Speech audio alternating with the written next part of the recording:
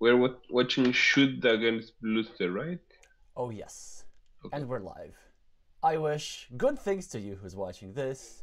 I am Alexey, and I need to still sort out some technical difficulties. That's why we are late. So our intro today is going to be very, very short. But first of all, I need to introduce to you my special guest, captain of Team Mexico, Elias Mochan, also known with the street name Complex V and H. And also, uh, Elias is playing, is one of the favorites, I'd say, in his group in this Carcassonne Champion League. But today, neither I or Elias are playing. We will be bringing you three matches. Hi, Elias. It's awesome to have you here on the stream. Hi, Alexis. Thanks for having me. Uh, Alrighty. Very... so, uh, hi Nalaheim, hi Crafty Raf, hi Glovier, hi Self Evident. Great to see already so many of you in the chat, uh, even a few minutes before the game. Hi Fabio. Uh, so, you can see on the screen the three matches that we are going to have. Uh, first of all, uh, the encounter between should and Bluste. Uh, should is a well-known Japanese player who was one of the top scorers in the 2023 World Team Carcassonne Online Championship. Bluste is Zvonimir Vlajic, uh, the uh, reigning Croatian national champion. He participated in the world in the world not team but regular world championship in person in Germany re um, representing Croatia. Uh, then we're going to watch world number four, an ex exceptionally strong player with a screen name Self-Evident 2, who will be competing against uh, another member from Team Japan with a screen name ekkyu, and at the end, uh, Sunny369 from Hong Kong, uh, also from Hong Kong's national team, will be competing against the 2023 silver medalist of the Mind Sports Olympiad, Afonso Cavaco, with a screen name Osnofaac. So before we go to the matches, we still have two minutes before we start. Let's just have a look at the tournament situation real quick in different groups. So we can see, by the way, uh, this this is Group A. So Group A is uh, not playing today, at least as far as I know. But this is a group where Elias is. Um, so you're currently in second place. Yep. How do you feel about your prospect of qualifying for the playoffs? Um, good. I, I, I think I'm in a good position right now. I'm missing my games against uh, Bobondi from Iceland and Norberts from Latvia. Mm-hmm. Uh, I know Norberts can be a tough opponent, but I think even if I lose both games, I still have a chance. Uh. Well, no, not both. If I lose one of the games, I still have a chance. So uh, I hope to be okay. I'm gonna still try to win both games, but. In that case, and by the way, for our viewers, I might stream one of those games. I will be trying to uh, stream the encounter between Norberts and Elias. That will be next week. Anyway, for this week, we can. No, well, uh, hmm? I'm playing Bobondi next week. I'm ah, playing Norberts okay. last week. Yeah. So I guess we will need to be a bit, a bit more patient. Uh, hi, Ludo. uh, alrighty, so Group B, uh, I'm doing pretty well so far in 3 out of 3. Still haven't played the 2017 World Championship with the screen name uh, UY Scooty, but so far things have been going relatively well. Group C, as expected, the currently the highest rated player on board Game Arena, Nallerheim, is in first place but the real battle will be over here and this is where our intention will be drawn here. So mm, the player with screen name should and the player with screen name Bluster all have one win each. So there really has not been much Croatian Carcassonne on the scene. There might be a team from Croatia this season at the World Team Carcassonne Champ World Championship, World Team Carcassonne Online Championship 2024. Too many words in the title of the tournament. Well, anyway, so um, um, Shooters, of course, is a very known player, but Bluster has been progressing in the ratings very, very fast. I've seen them rated 650 at the very least. I wonder if they crossed the threshold yet. And uh, they have an interesting balanced style of play with um, like a, a, a balanced style of play between blocking and point scoring, and um, they will be quite interesting to observe. So, Elias, do you have experience playing either of these players, and uh, what do you make of them, and what do you make of the prospects Uh, for this yeah, duel? I I don't think I've played Bluster before. Um, he I I know he was the the Croatian champion, and um, I did some digging of of his elo and stuff before the World Championship, and I think he has uh, risen a lot in in these last months. Uh, I played Shoot many times, and he's a very tough opponent. I, I think I have a losing record against him. I've wins a few times, but uh, yeah, he, he's very tough, uh, very creative. Um, so I, I think should should be the favorite, but yeah, uh, um, anything can happen. I think. This is very interesting because as you speak, they've already started playing a little bit, so maybe one minute ahead of time. But um, they have almost identical ratings. It's around 640. So I've opened the game. Bluster here playing with the yellow meeples, should playing with the red meeples. Cora- the Croatian player has already made the correct meeple color choice, so that's a little win for them. And I would say that my money is actually on the Croatian player this time. It's just intuition, or maybe just the fact that they drew drew these two adjacent monasteries early in the game, which are a big power. So now, of course, they are 0-0 on the scoreboard. But these monasteries already given yellow seven points, and there are just so many squares that can easily be built up. Red, of Yeah. course, here attempted to block this monastery, but we will see uh, if um, red, if yellow gets a tile that fits into this place. Yellow might even getting both of these meeples back into his hand. On the other hand, um, if shoot gets a triple city, it can be a double block on the monastery plus city. We'll Oh, see. like triple city over here, you mean, uh, on the left, right? Yeah, But here's here's something interesting. So uh, as you've been saying this, should immediately took a city cap and started attacking this city over here. So and now, he needs a triple yeah. city in another place. Exactly, exactly. So now red is trying to take over the city over here. And red will need a triple city tile to fit into this square. So red won't really have enough time to block this square. Red is of course trying to do that. So red drew a curve, put it over here at the bottom, and is now trying to kind of create some sort of vulnerabilities here. And at the same time, vulnerabilities here. And if red manages to draw a bunch of triple cities, let's say red first of all finishes here, draws a city cap, gets like 16 points on the scoreboard, then uh, red draws another triple city, puts it here, and then red now can commit two of these squares to starting tiles just to make sure that um, it is harder for yellow to get his meeple back. In the meantime, it is yellow who draws triple city tiles and uses it as a way to hinder the development of this red city at the top. But on the other hand, red is drawing the starting tile. So red just drew the tile that yellow really, really needed over here in this square. So both opponents are drawing each other's tiles.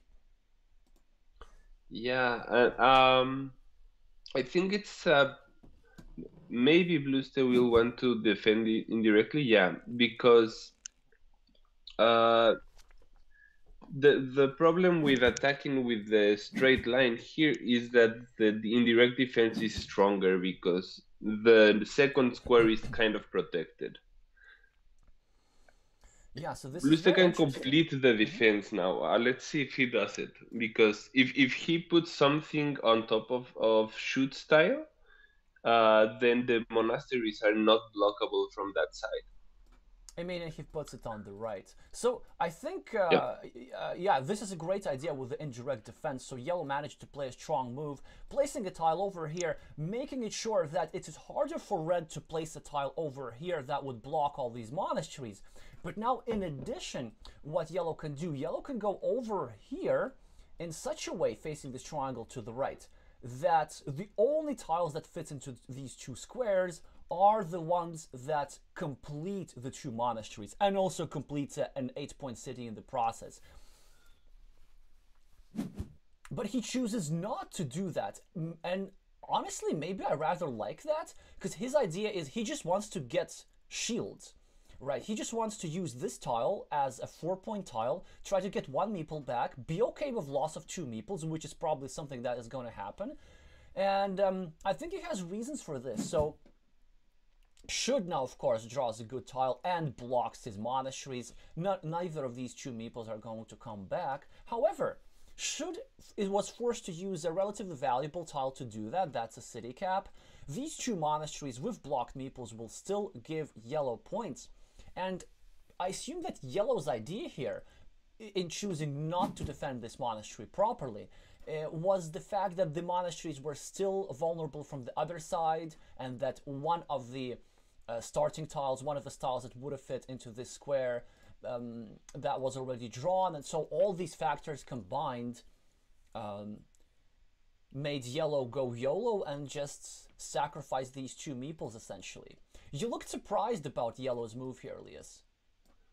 Uh, yeah, I, I, I I don't love it. Um, I, I see the point. He, he wants to block shoot city, but uh, the thing is now shoot can get this road when he expands his city. Oh, you're talking about this move over here. Yeah, so this is a. Oh, yeah. Oh yeah. You seem to be surprised about a lot of yellow's moves. yeah. Sorry. Uh, yeah. The the other one, I think it's good. Um, I I thought the defending was okay. Oh, and he blocks successfully now. Yeah, so this meeple by red is completely deceased, so yellow with a sequence of three curves over here was able to completely kill off this meeple, so yellow is getting something in return. Yeah, and he also draws a good tile now. Um, he has many interesting options, but I think the most important thing is that red is not getting that tile. Right, so red is kind of st- starts to run out out of tiles that fits into this square. There are still five remaining, but after each of them, as Crafty Raft pointing in the chat, after each of them, so let's say if red like connects to this city, yellow will still have a chance to attack from this side, uh, and maybe salvage the points from this city. In the meantime, uh, red is now trying to block yellow city here at the bottom, so both players are drawing roads, exchange kind of blocks, defenses, blocks, defenses. So this square now here is only slightly restricted, uh, and um, yellow has a decent chance of completing this city. We'll now see what yellow's going to do. So yellow could add this tile over here, but I'm pretty sure yellow's an experienced enough player not to do that. The move that I would expect is maybe starting a new city over here or over here at the very top, putting pressure a little Yeah. bit on this road. Or maybe even going here on the right and starting a new city here and trying to do something about this square. What would you do here in this position as yellow, Elias? Yeah, I, think I, I would place it um probably on the top right, trying to attack uh yeah, I, I would try to attack the road instead of the city, but the I think that one is good as well. I prefer I prefer the move that you would have played, Elias, and I'll tell you why.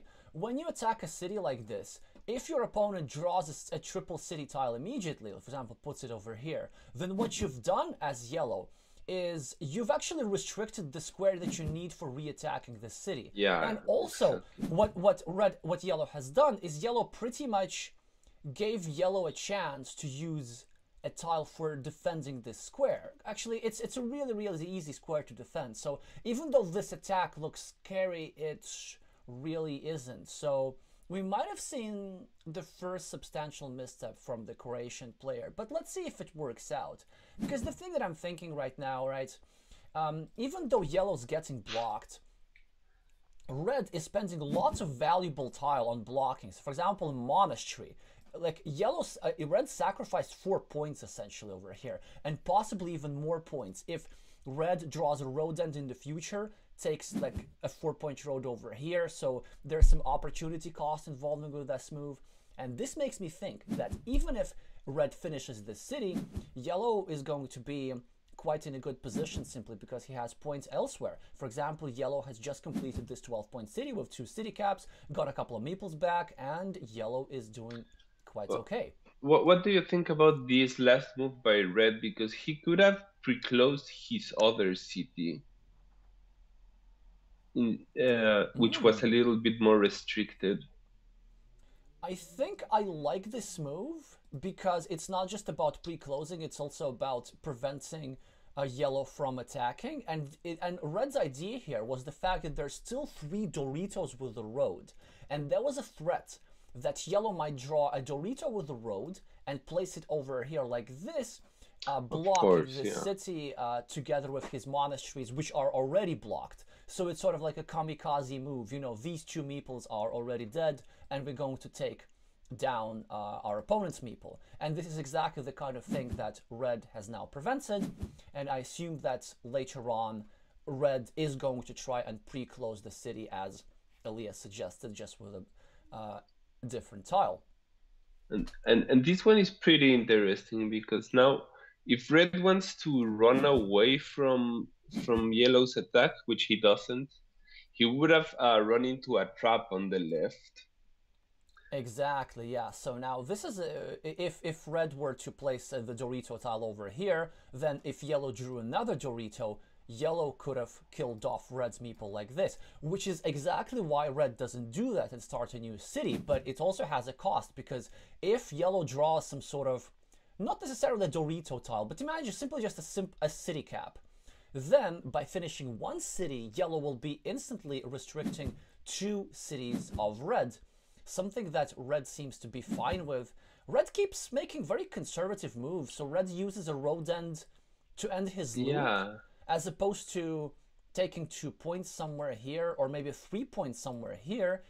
So let's see if sacrificing these little points will change the outcome of the game. Also now we see that yellow scored a four points for the road, the same four points that red sacrificed earlier on by defending his city and not using this monastery as a quick point tile. So yellow is doing pretty well here. I was going to say until Red finished a juicy 12 point city, at the same time restricting the city cap of Bluster, which of course now is getting a boost from this juicy 4 points extender yeah, child.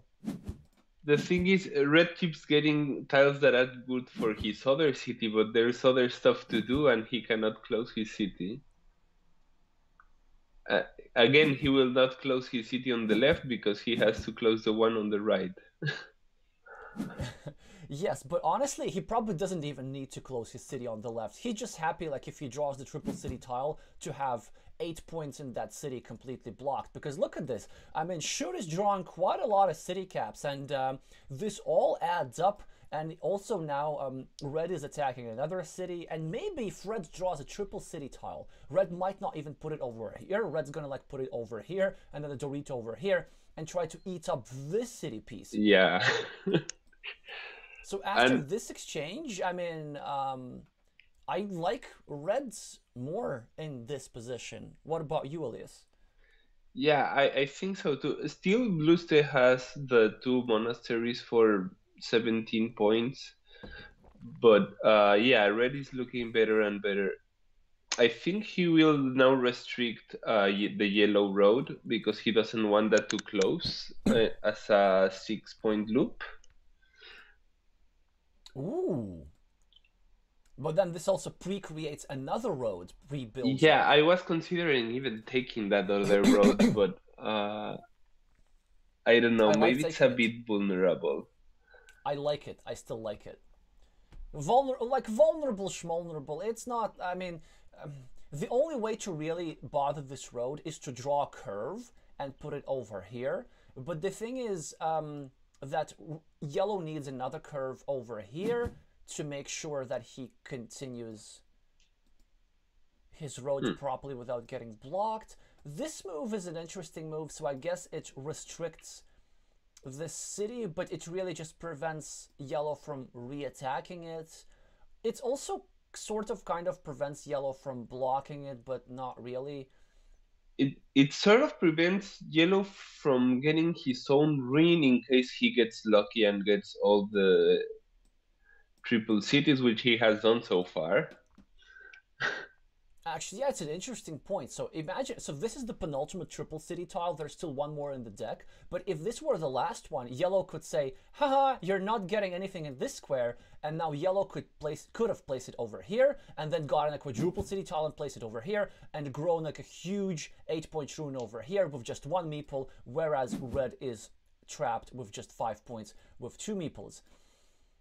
So but red drew another triple city tile for over here, and now red is threatening to take over oh. this city, which for sure would be game winning.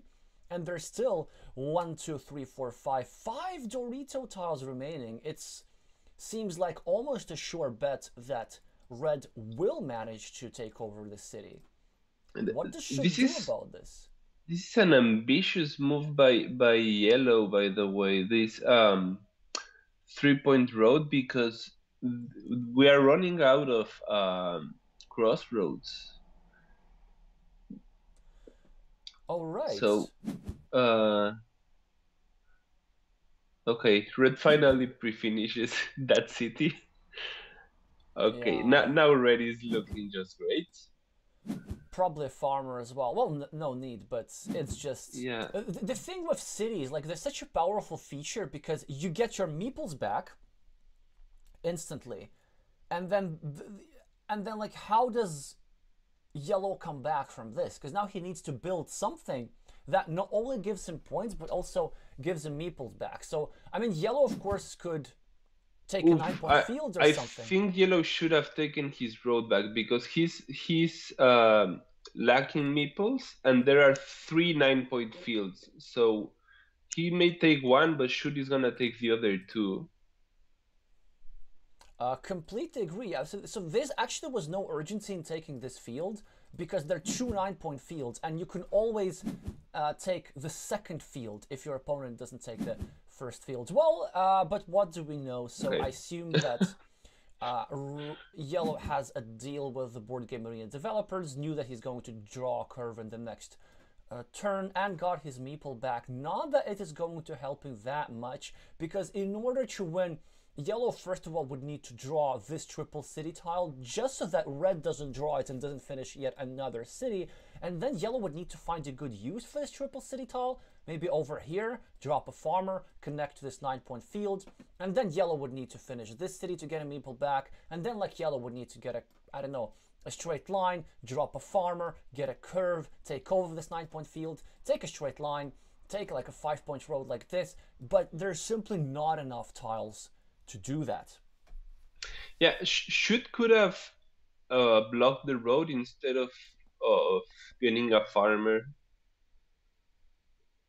I don't know if maybe he considered that uh, it was too important to get that field before Yellow did, but Yellow had only one meeple, so I think maybe blocking was okay at that moment. I like should moves. Like a 9 point field is a 9 point field, and you definitely don't want to give your opponent easy 18 points with, with two meeples. And even though a blue still was short on meeples, he still has an option to get a city cap, get 6 points on the scoreboard, get a meeple back. So this wasn't his last usable meeple, really. We have increased viewership, which is great. All right, we have uh, fans for Croatia. Um, hi, Hannah. Hi, Sergey. Hi, Nico. Um, hi, Krish. If you're new here, I want to remind you that we will be streaming Carcassonne Champion League's match regularly throughout the next few weeks. So if you want to see more content like this, make sure to subscribe to this channel. We're pretty close to hitting an important milestone of a thousand subscribers, which I am excited about should start a new city at the same time harassing Yellow City over here a little bit.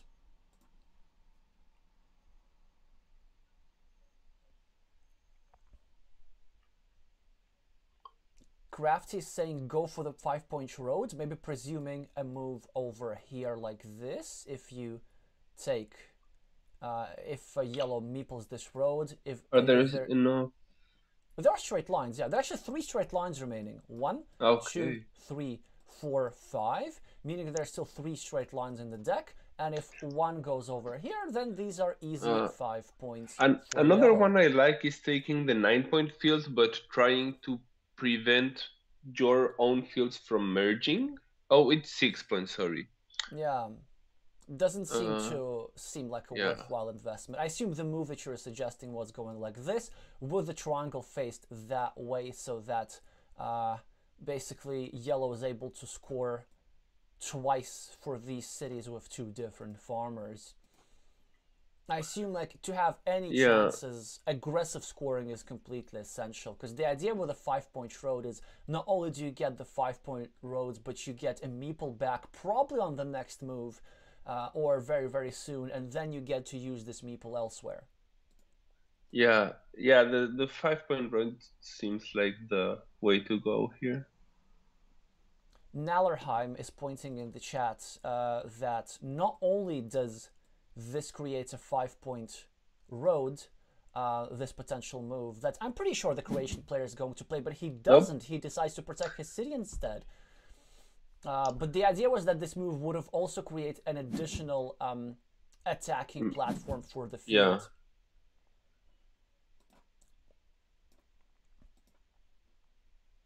Yeah, look at this. Just as Bluster was about to finish his city, uh, should meepled a six point monastery. So Bluster needs to come up with something else. Maybe like going over here, dropping a desperation farmer. Is it time? Possibly.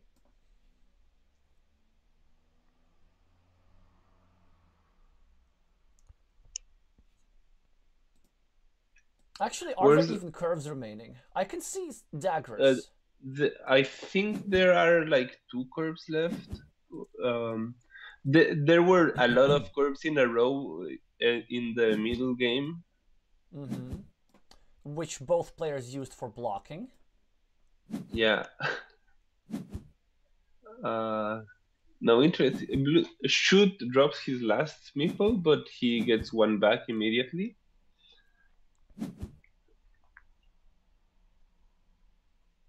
Yeah, these these two monasteries are just so powerful. Like red is going to end up with a finished monastery, probably. Oh, and look at this. And now should I'm pretty sure it's gonna go over here and meeple this road. Like that's just what he's going to do. leaving the cap in his field. Exactly, yeah. And the idea is that there's still one more cap left, I think, for him to finish a city. There's still three straight roads remaining to put over here, and there's still the magical tile that fits into this square that would give red two meeples back and a bajillion points. So if red goes over here, that's like a pretty much a sure bet that he's going to get a lot of points and a meeple back on his next move. Yeah. Um I also like just getting one point in the monastery and and like dropping a farmer later when you close something in that field. Yeah, but like But all of that m- maybe really it's a bit to be just conservative. Yeah, it's it's a sort of Yeah. conservative. I mean, one point is one point. Like it's not bad or anything, but um, it just seems that red knows that he'll be winning no matter what. He's just trying to calculate: are there any remote chances that yellow could somehow, I don't know, take over this nine-point field with two meeples and equalize the game like this? It doesn't seem so. Well, actually, wait a second. So, red has these two monasteries over here, which are compensated by these two monasteries over here.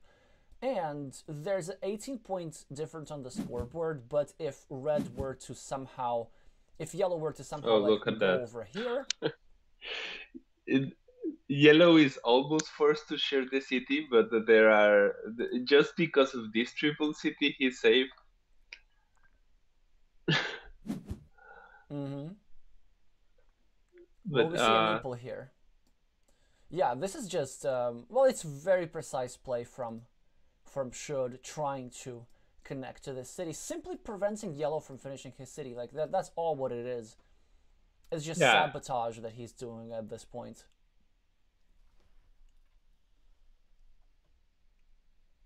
Hi Vinny, hi Vika. Now this is a harder tile to play for for shoot because I, I the best move I see is putting it in the city.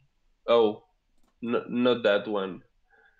In the four point city that was just created, just to. No, forget it. That was a bad move. I, I, I know I know what you mean, but but but yes. Uh, but but here's the interesting thing: is like I'm not sure even from a tournament strategy uh, standpoint, like Red should be thinking that much because as a reminder to our viewers, by the way, I didn't say that explicitly at the start. All matches that we're watching here are best of three format. This is the first match, so this victory for sure will not be enough. He will need to win one more game in order to win this match. And so at some point, if you know that the end game is going too well, the best move is to save mental energy and just play a move instead of being super precise and playing like the move that gives you the most points. It doesn't matter that much if uh, red wins with a 10 point difference or a 20 point difference as long as red, red makes sure that he actually wins. Yeah. Um I, I don't see any outside chance here for Bluste. Uh, he can take a long road. He can take a short road, but the thing is, if you try to get the five point road, when you close it, you cannot take anything. So, yeah, I think that makes a little bit more sense. Certainly, the high scoring move on the board. He takes a five point road, gives um, red, of course, a one monastery point, but this makes it a net three point move. No, it's not four point move. Unless we miscounted, should will close the city. So I think Bluste should take the field now. Take a six point field, which is three points now, but. It's a 50 50, so. Oh, oh, it's a 50-50. I, I thought I thought should had um should yeah, have but, the last tile. But, but this was still actually quite a serious mistake here by yellow because yellow could have prevented red from getting two points here. Yellow simply should have placed this yeah. tile over here. Now this is not going to matter necessarily, but um, we do seem here that it did seem that the Japanese player was more precise, and uh, we were kind of focused a little bit on which tiles are drawn and uh, and some blocking decisions made early on. But in the end game, like with the last 20 tiles, it seemed to me that Red had full control of what's going on, and these cities over here, for example, this one that looked quite lucky, and these monasteries they looked lucky, but really they were actually were not at all that unlikely. So it seems that. Um, Red just really showed a strong performance here. Only plus 12, which by the way would have been plus 10 with precise play from the Croatian player. So it it's not like a super imbalanced uh, match. And um, so far the more experienced player wins, but I expect a very hard fight in the next one. With this win, the Japanese player crosses the 650 rating threshold. Let's see how the Croatian responds. By the way, pretty neat profile picture, I have to say. I assume oh, the, the uh, Croatian the logo for the national team. Probably, yeah. The checkered uniform, uh, obviously from the coat of arms from the Croatian flag and uh, this is also the same type of checkered uniform that Croatian football players wear. So that's quite nice. So the game has started and now the Croatian player with the yellow meeples has the starting player advantage. He started a... Oh no, he doesn't actually. Uh, it is the Japanese player who has the starting player advantage. He now started a city, Bluste started a road, the Japanese player started another city, and Bluste started another city. The Japanese player is the first on the scoreboard, scoring four points and starting yet another city, so slightly more city tiles for red over here. Oh. Now Bluste starts. Will he meeple the road? Meeple the road! I think or he will actually... take the city, but Oh, he takes the field. Okay. Actually, I probably like the city. Yeah, just to no, no, it's fine. It's fine. Field is good because I think the main idea is that um, Red cannot meeple this road due to the vulnerability of this tile. Yeah. Oh, I'm not a fan of this orientation, but still, four points are four points, and I'll explain why in a second. Yes. Yeah, Ah, that's a bit because of a of this. Yeah. You will So- defend and make two points point and get the road points. Yeah. Exactly, exactly. So maybe it's a slight misstep here from the Croatian player for the variety of reasons. I mean, he takes the score point, the four points, and there's still a 75% chance of this red meeple getting blocked. But the problem is that is after this defense, if red gets a tile that fits over here, not only will he get eight points city, uh, eight points for the city that, and, and meeple back, he will also get three points for this extra road, which was kind of donated to him by red. And also, another issue with this move over here is that it makes the field a little bit shorter, which seems that like it doesn't matter that now, but it but it could matter later down the road because if I don't I don't like that one, but it should. But but uh, yeah. The, so the the problem with shoot moves is that now it's bad to take the city. It was he was in a position that it was good to take the city, and now he has to take it, but it now it, now with defense. Exactly, yeah. So the, the, point with this move earlier is that it's it's, it's actually a well-known mistake. Like it's just not the pres- most precise way to try and block this meeple. So even though blocking this yellow's meeple is a great idea, which red absolutely should pursue, there's something about Carcassonne that you should wait for the right tile in order to do something like this. Also, not a huge fan of this move as well. So like the Japanese player is going for these field fights. And I would say that he's going for them whilst he's not prepared. Like he has two meeples here, kind of trapped for a long time. And um, if I were red, I would definitely think twice before making big fields whilst being at a meeple disadvantage. And he now needs to worry even more because yellow draws a tile that red needed over here. Now there's a 50% chance that this red meeple is never coming back. So if I'm the Japanese player, I am sweating. Yeah. Um, I don't know. He I, it, it it was a hard tile. The those um, orthogonal caps because I don't think there was a much better placement at the moment.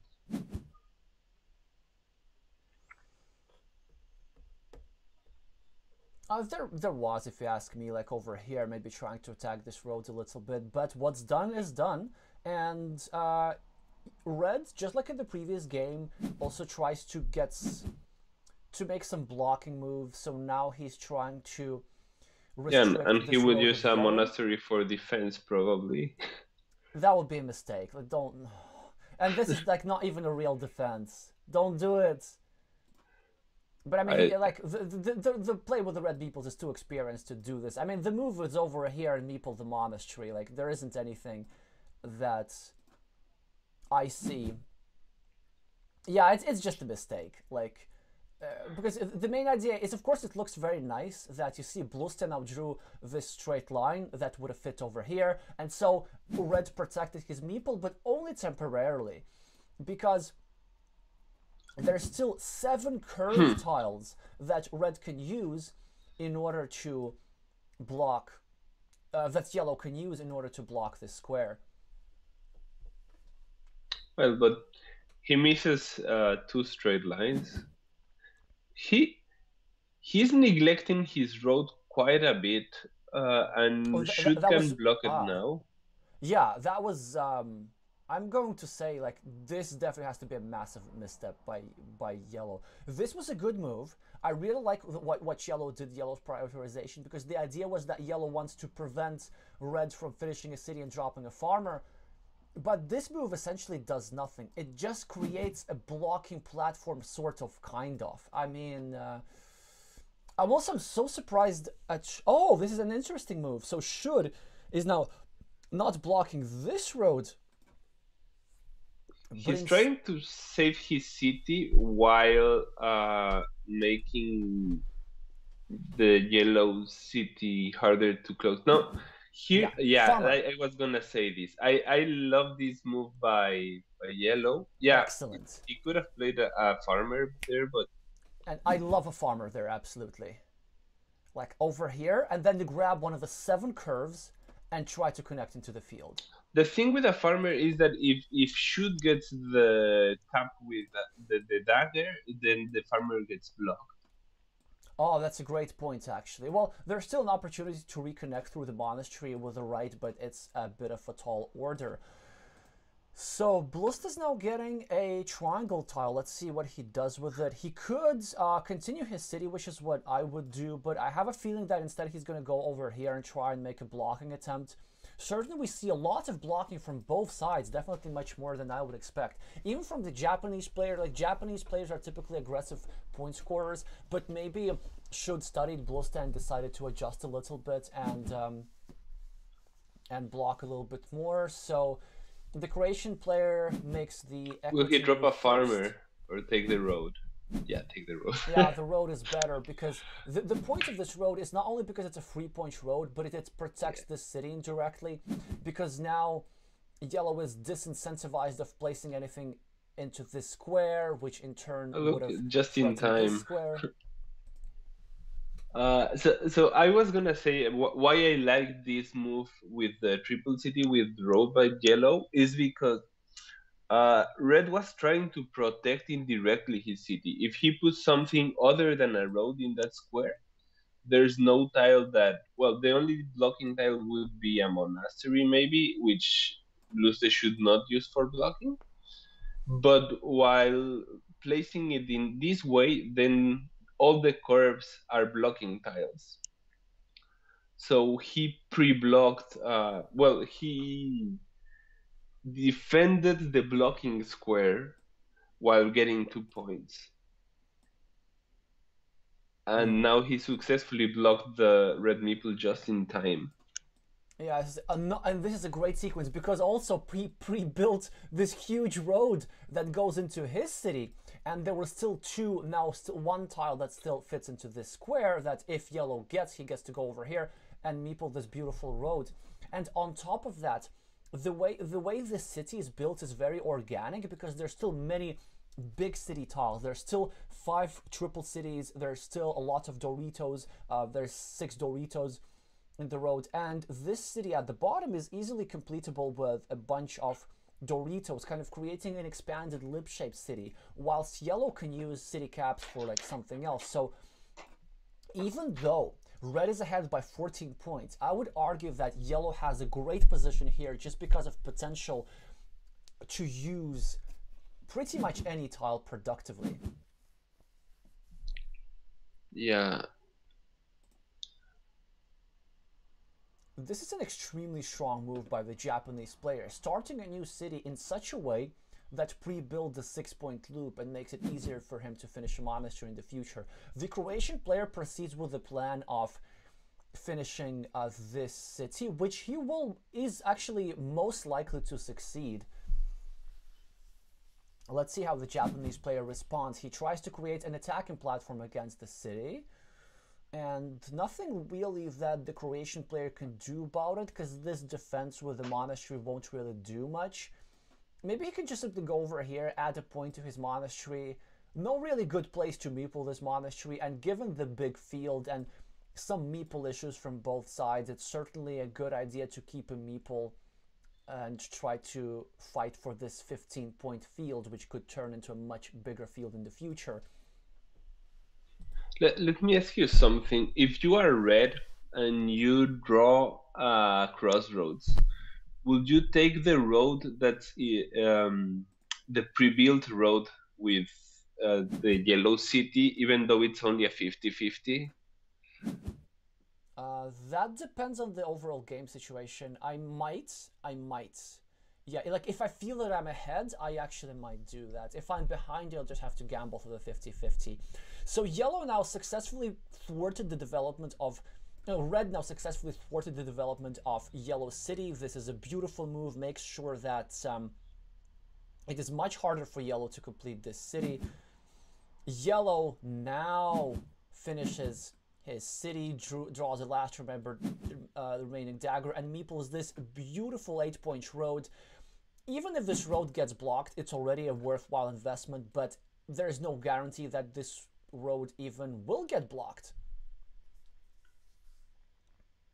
Okay, now, what if we go over here and drop a farmer, not city? Yes, yes! Beautiful, efficient play. So this is Yeah, I, just- I, I, I was a bit surprised by Red's move by uh, putting the curve there, making his own city vulnerable. Yeah, I, I get it. So I, I think his idea is that he's okay with just finishing one of his uh, features, so he's okay with one of his two meeples blocked. Because he is a bit ahead on the scoreboard, like, we can't take away that. But Yeah, I true. like how the Croatian player combated this beautifully and efficiently, because the point is, this field is already worth six points, so this meeple is kind of a worthwhile investment as it is. And, um, Oh, If- Yellow will finish his road finally. he should. he really should. Yeah, Like, that, just- that road has been there for such a long time. It feels like both players forgot about it. Oh, look at that. I think both players forgot about it. Why would you I, I do that? think he just forgot about his other road. He, I really he think just so. Because yeah, but this is such a serious mistake by yellow because the main idea there's only one starting tile remaining. And if you're placing a move like this, this is saying that you draw a starting tile, that you're hoping to draw a starting tile. But if as yellow you're going to draw a starting tile, you're already going to benefit from red not drawing it. So I mean, this this is a really serious oversight, and Elias, I think this is literally an oversight. I think really both sides just forgot that yellow has a road over here. yeah, I think so. Okay, Bluste now should go over here and create a Sophie's Choice block. This is a strong move Yeah. because now, uh, first of all, this prevents uh, red from getting a meeple back instantly, and also this is make sure that yellow, no, that red needs the starting tile in two of these spots simultaneously, which means that when and if red draws this tile, there will be a Sophie's choice. Which meeple do you save? This one or this one? But you can't save both.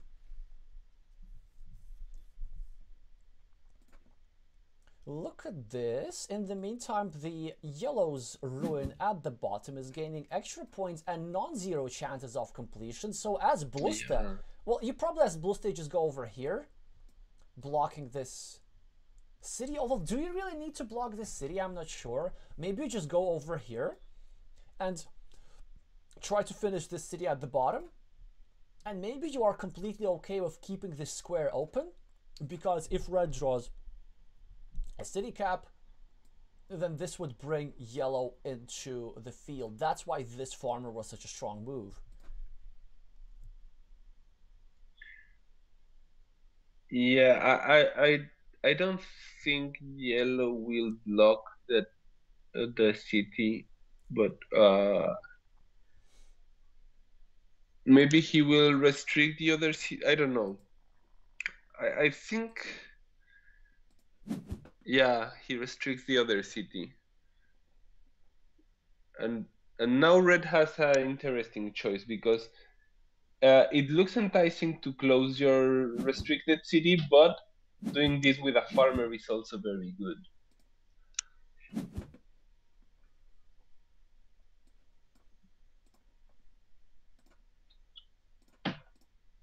In the meantime, I'm just going to get the critical tile graphic up because a lot in this game will depend on who is going to draw the starting tile. If red draws the starting tile, red gets his meeple back over here. If yellow draws the starting tile, then yellow gets his meeple back over here. In the meantime, red is doing really well, getting more points at the scoreboard and dropping a farmer over here. I was surprised that, honestly, as yellow, I would have liked to see this block. Ooh, that's interesting. Reds actually didn't even go over here. Well, the more you know. Yeah, because he doesn't want to share the field, and uh, he can now reattack the field with the other by closing the other city. So now yellow has a nine point field and red has a six point field.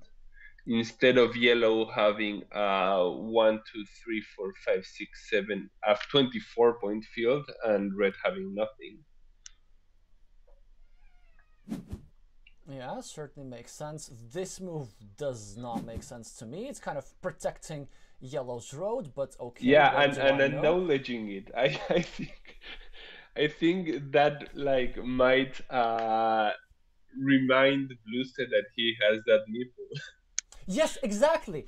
I, I, was completely sure, like that, that, that he forgot. I'm like, oh, oh, this guy's live. And the reason why I don't like this move is because, well, there's a monastery with a road still, which actually can be used over here. Also, now there's a field connection spot. Let's say if Yellow gets desperate, but he might at some point, Yellow can just on his penultimate move, place some meeple over here, drop a farmer, then get a monastery with a road and put it into this protected square, meeple the monastery for 6 points, get a road back for 3 points, and sneak in the farm all the way from here. So honestly, now this will be a high variance game with lots of win condition options for both sides. On top of that, this city appears live. So Red did a good job thwarting it, at least temporarily, but uh, it's still growing and growing and growing. For example, a mechanism that I see is that if um, red draws the last triple city tile, red can go over here and then get a giraffe's neck and put a tile over here. So that's one possible combination. Another one is um, Dorito plus Splitter? No, there's no Splitter. Actually, it's kind of hard. Um, oh, I know. Yeah, Dorito plus City Cap. That should work. Yeah. Actually, no, that doesn't work either. Huh. This city is kind of hard to finish. The only thing that really works is uh, Triple City plus Extender, like this. But the main point that I'm trying to convey is that there's still two tile combinations available for yellow to finish the city, get this meeple back, and score a bajillion points on the scoreboard.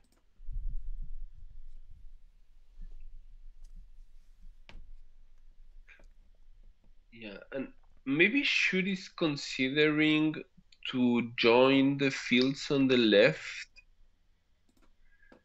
but or or maybe he's considering to attack the the city again. Oh, interesting. I was not thinking about that. Wow, going for the content move, knowing that there are many fields and deciding that he wants to take over this field and basically say that this field is so big, it's like at least 18 points.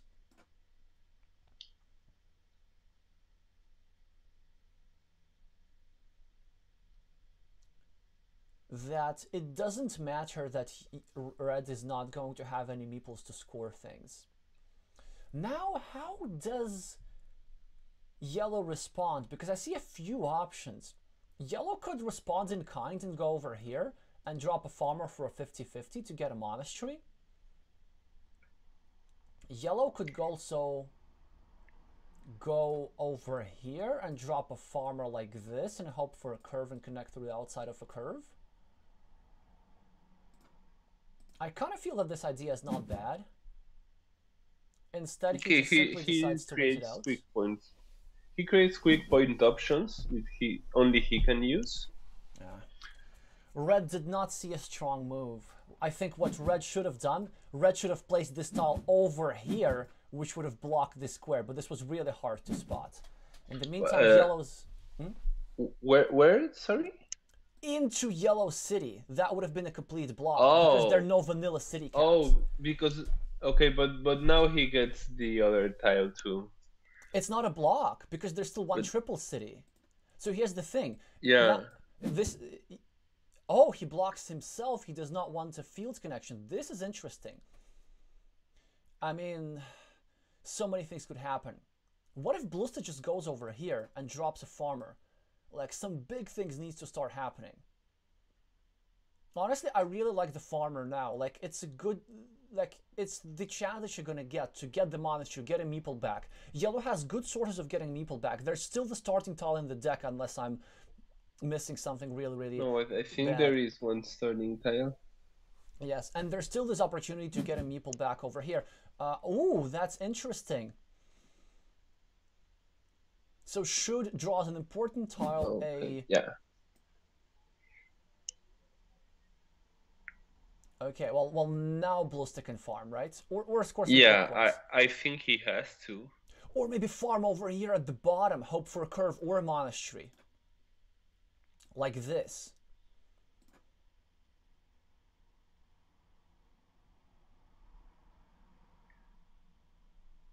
But maybe he just goes for quick points. I I, I don't think they will do, but uh,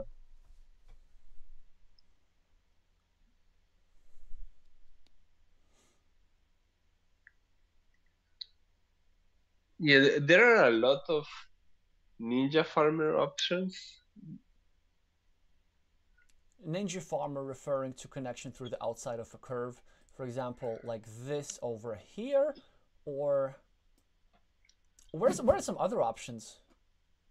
I don't. I'm not a fan of this move. So he, so he equal. So so, so he's actually not going to win the field. He he can only equalize the field, and that's the problem. Yeah.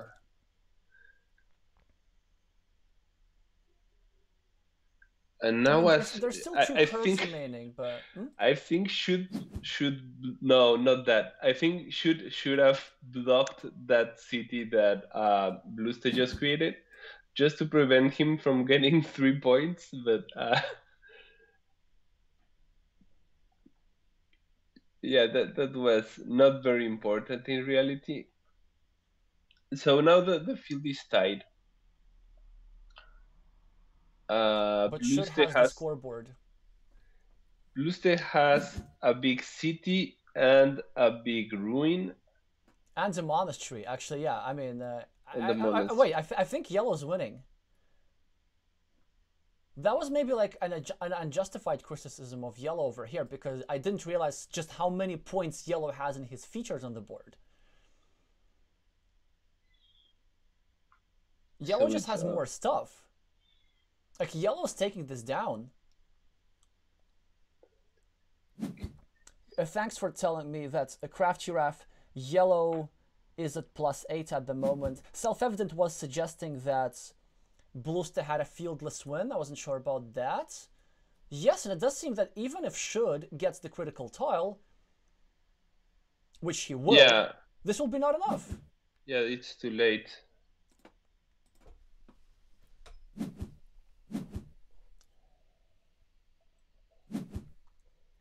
So this is just amazing um, game awareness from the Croatian player, going for the safer move that equalizes him the field.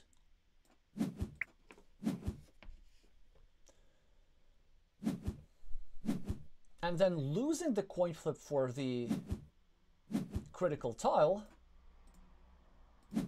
but never, never, nevertheless winning the game. Also, I should update the score. It's not 0-0, it's already 1-1. For those of you who are just joining, should won the first game, but Bluste is now about to win the second one. He's suggesting a two-minute break, which is great for us because um, I've done a lot of talking, so now the ratings are equalized. Bluste wins plus five. We get to watch a decider match. I know that another duel is about to start in six minutes, but we have to keep watching this. A um, I need to stay hydrated. I'm going to get myself some hot beverage. Elias, could you entertain our audience in the moment? So, uh, you, so feel free to ask any questions preferably Carcassonne related to Elias, who will remind you is captain of Team Mexico and ComplixVandh on Board Game Arena. I'll be. but then I have to I have to go to okay I I do have the the YouTube open I didn't realize Yeah, yeah, the Okay. chat is right there. Alrighty, see you in a bit. yeah let's see okay uh I like to confirm it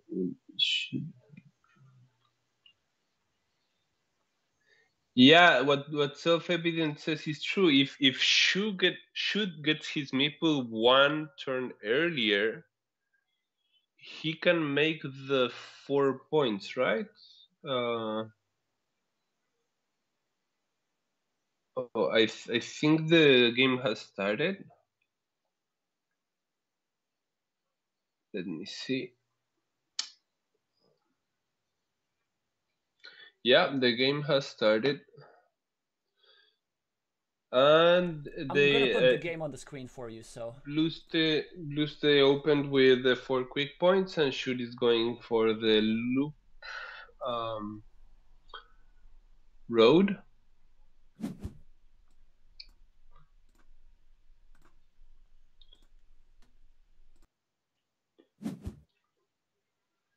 And Bluste gets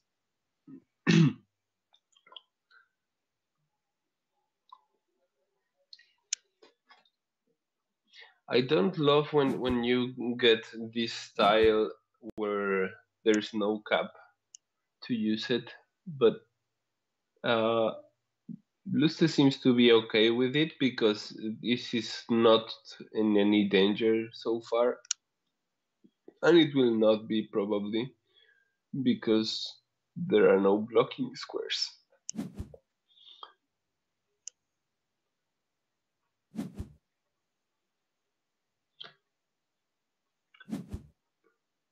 So Bluste is now 10 0 in the scoreboard, but now should get some monastery and uh,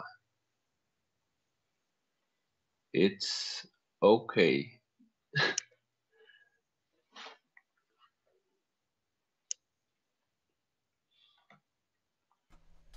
and Bluste once again gets this giraffe neck with no cap to put it, but he finds ways to kind of harass this road a little bit. Uh, should will probably go for the Vatican here, and Bluste will restrict this road even more. So now he needs two crossroads.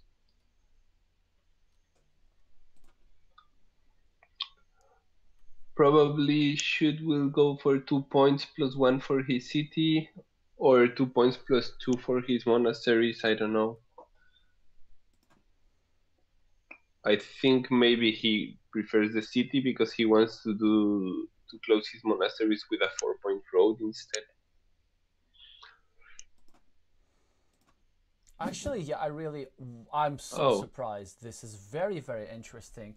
I've noticed that, yeah, the Japanese players make moves like these too often. So the main idea of this move was just to prevent yellow from getting quick eight points, and it's completely works because yellow would have gotten the city cap, would have gotten the points over here. The downside of this move is that, like, if yellow draws something like a Dorito tile and there are still four regular Dorito tiles and a and some splitters remaining, then yellow can just simply go over here and secure this city.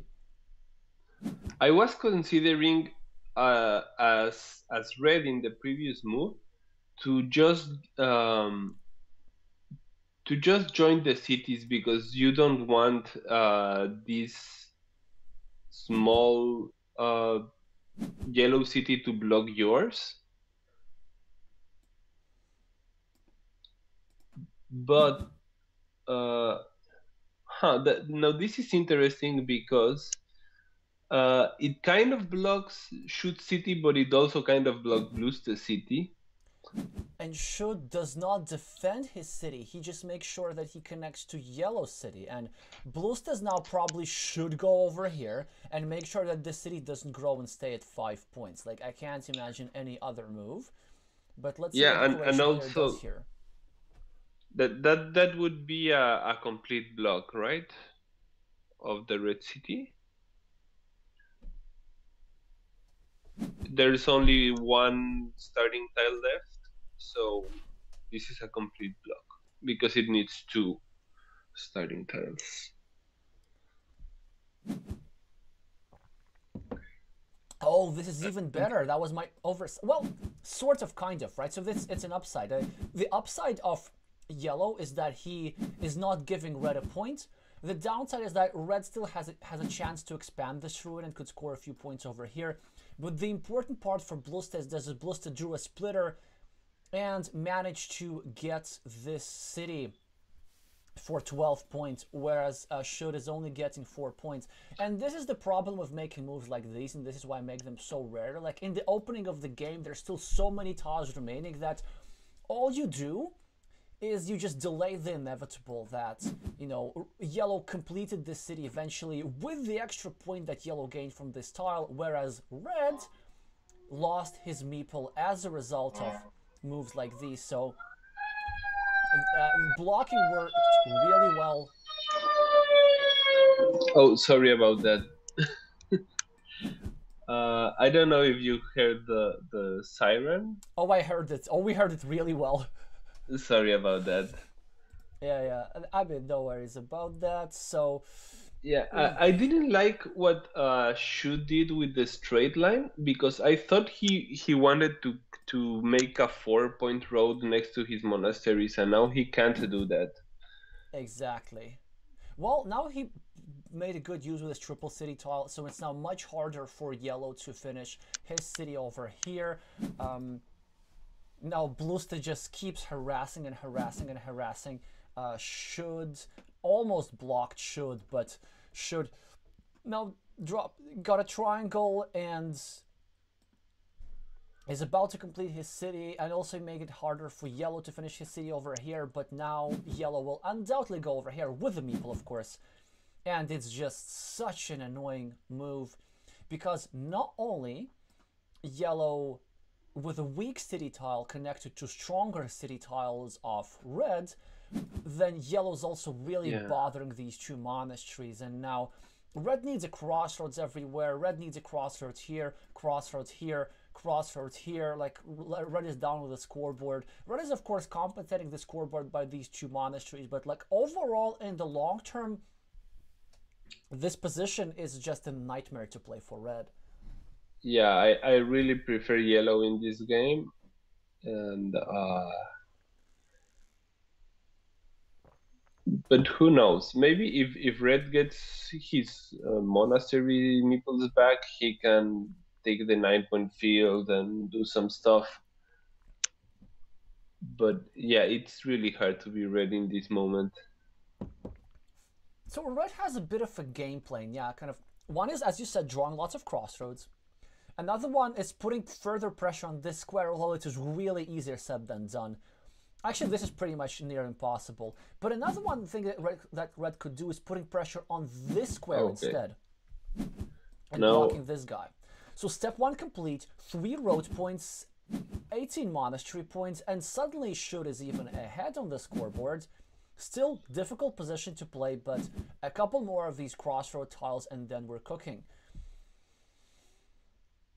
Strategic decision for Bluste. Does he go over here and restrict this road further, which is what I would do, or does he go over here and drop a second farmer, which I think is a little bit impatient. There are some reasons for this. So now Should can absolutely ignore the fields and can just try to go super aggressive scoring mode. He has to go over here and has to meeple this monastery. Even though this monastery is vulnerable, even though it could be block from this side. There are some several reasons why this block why the blocking is harder than it seems, and like he just has to go hard if you ask me. Another option is to go over here and score the monastery. This monastery placement I don't like so much. Actually, I don't like it at all because it is blockable in one move. It is almost impossible to get his meeple back because red will be forced to find a city tile that fits into this square and it's just yeah, I'm, I'm really surprised about this move to be honest. So what what was your suggestion next to the next to the to his road? Merging the fields. Either merging the road over here oh, okay. or four point one is to merging the fields. Yeah. It looks like Elias uh, it looks like a should might get away with it because at least he drew very quickly a road tile that goes over here.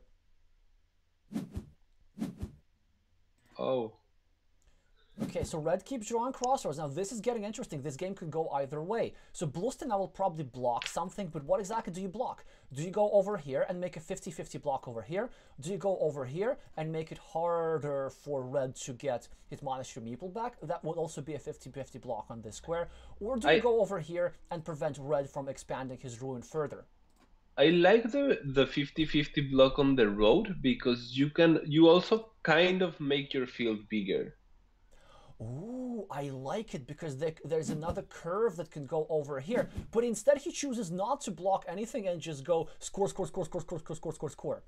So, which is very, very interesting. I probably would have preferred the block here. Like it's.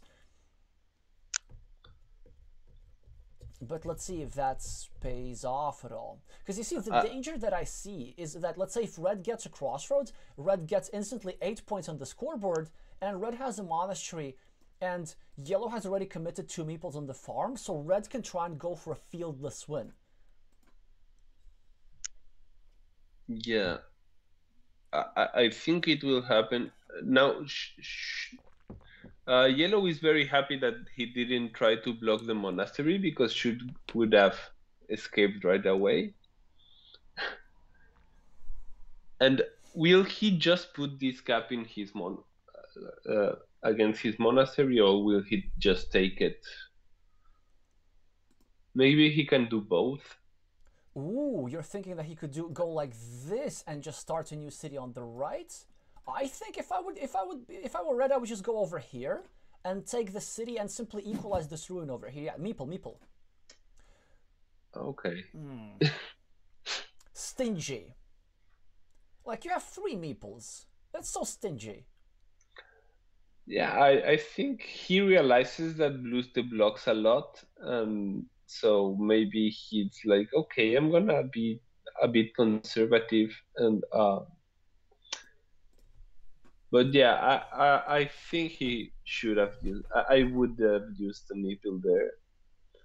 Yeah, because you see, the problem is like there's still three triple or quadruple cities that go over here, and if yellow draws a quadruple city or something like this, then this ruin is already worth 8 points. It's worth fighting for as it is.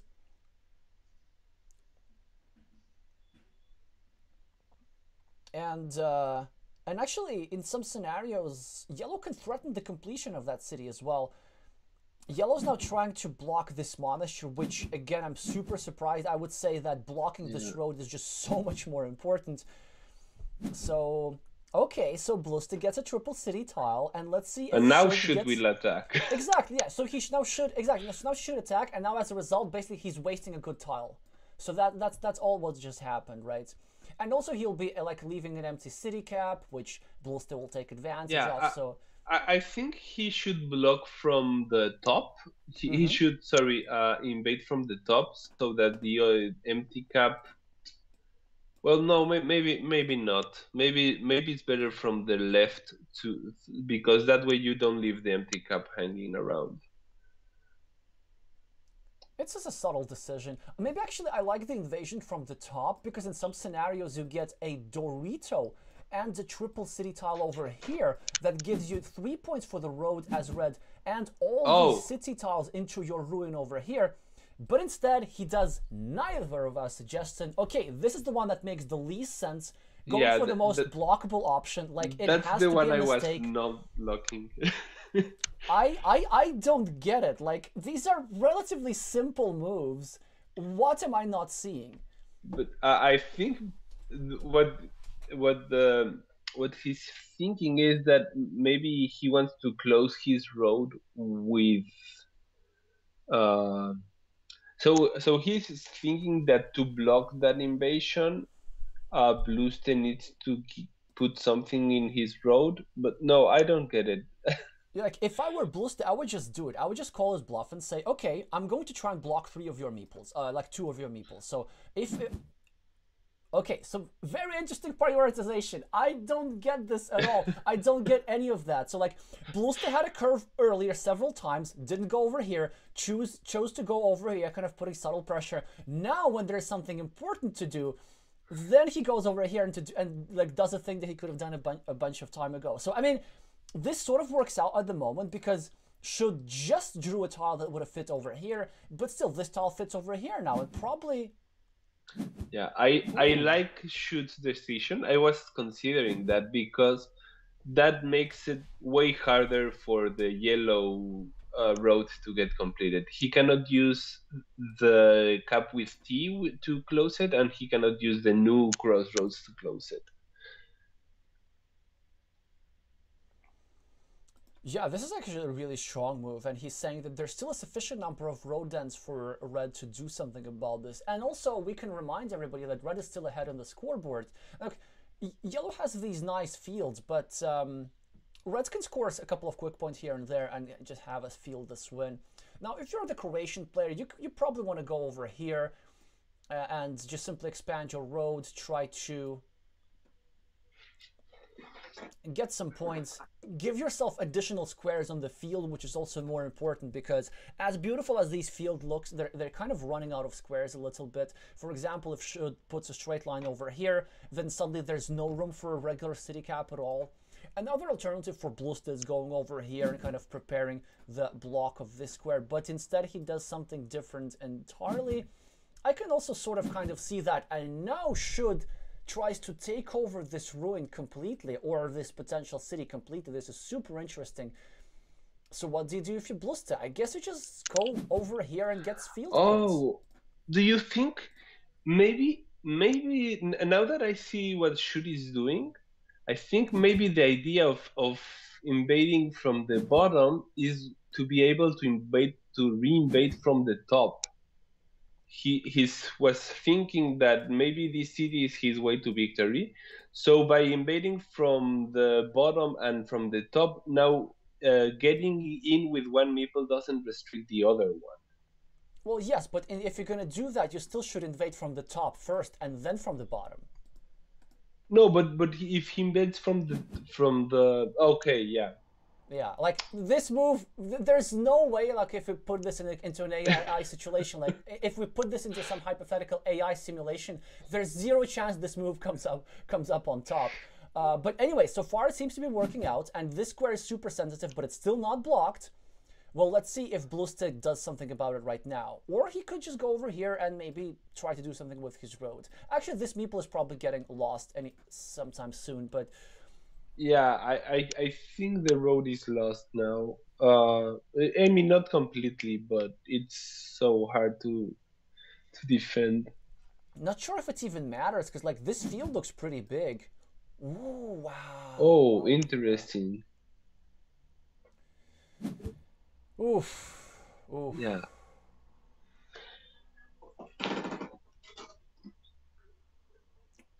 Now, as Bluested, do you try to save your road or do you just take the three points? I think I like saving the road. Although the problem with saving the road it restricts the field, but maybe that's not so bad. You can also be super greedy and try to save the road for the for crossroads, pointed to the left. Actually, I kind of like that too. No, I mean what what Bluste did made sense. Yeah. Ooh, this is this hurts bad. Mm. Should now is about to take over the city completely. This this game is about to get not safe for work. Uh, well, and look at this. Now the Croatian player is sacrificing three points, which may be wise in this situation because he realized just how important this city is. And he does this just so that he can create a blocking platform from here. And uh, I don't know what tiles are left. Can can should you defend with this tile or or not really? I, I think there are. It's not a good idea to to defend for a triple city, right? There are not many left. There are two left, but maybe it's not such a horrible idea. I mean, four points are four oh. points, so I completely understand what yeah. should is doing. So Bluste gets a monastery. One, two, three, four, five, okay. six, seven, eight, and there's still a chance to get a meeple back. There's still one more. I think he he will place his last meeple maybe. He has to. He like he just cannot afford the completion of this city. Like just yeah, you, you do what you have to do. Because like Bluste is doing all right. Okay, if he equalizes this thing, he has a monastery, he has a field, has a road, like he has the points. Actually, let's see. So he's minus ten. Uh, these roads he has extra points in the road, so he's minus nine. Because of this, he's minus 13. Because of this five point road, he's minus 18. Field is 18 points, so he's at zero. Uh, monastery is 8 points, so he's plus 8. And he's to put this tile over here, and he's to be because of these extra city tiles. 1, 2, 3, 4, 5, 6, 7, 8, 9, 10, 11. He's going to be at minus 3, but he still, ha he still has a chance to get meeples back.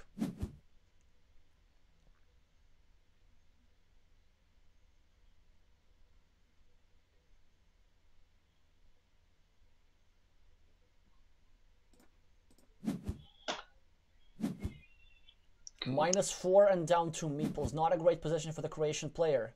Well, but he does get the connection and he should yeah. take it, I think. Yeah, and Shu doesn't get the tile to reattack. Mm-hmm. Now this puts Bluste into a slight lead. Now Bluste is ahead seven points as a result, if I'm not mistaken. Seven points for two meeples. It and if Bluste can get a city cap, he can finish this shared city, get a bunch of meeples back, and also get three points for his big field. Yeah, that, that's definitely what Bluste. Well, ne- Bluste's next move should be something about the city because uh, if he gets a road, he has to defend the city. If he gets, are there monasteries? uh, there are no monasteries.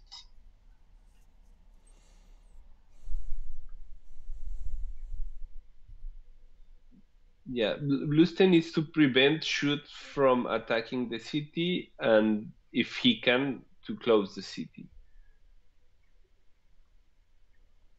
With that in mind, I, I think maybe should can just restrict the bottom side of the city just to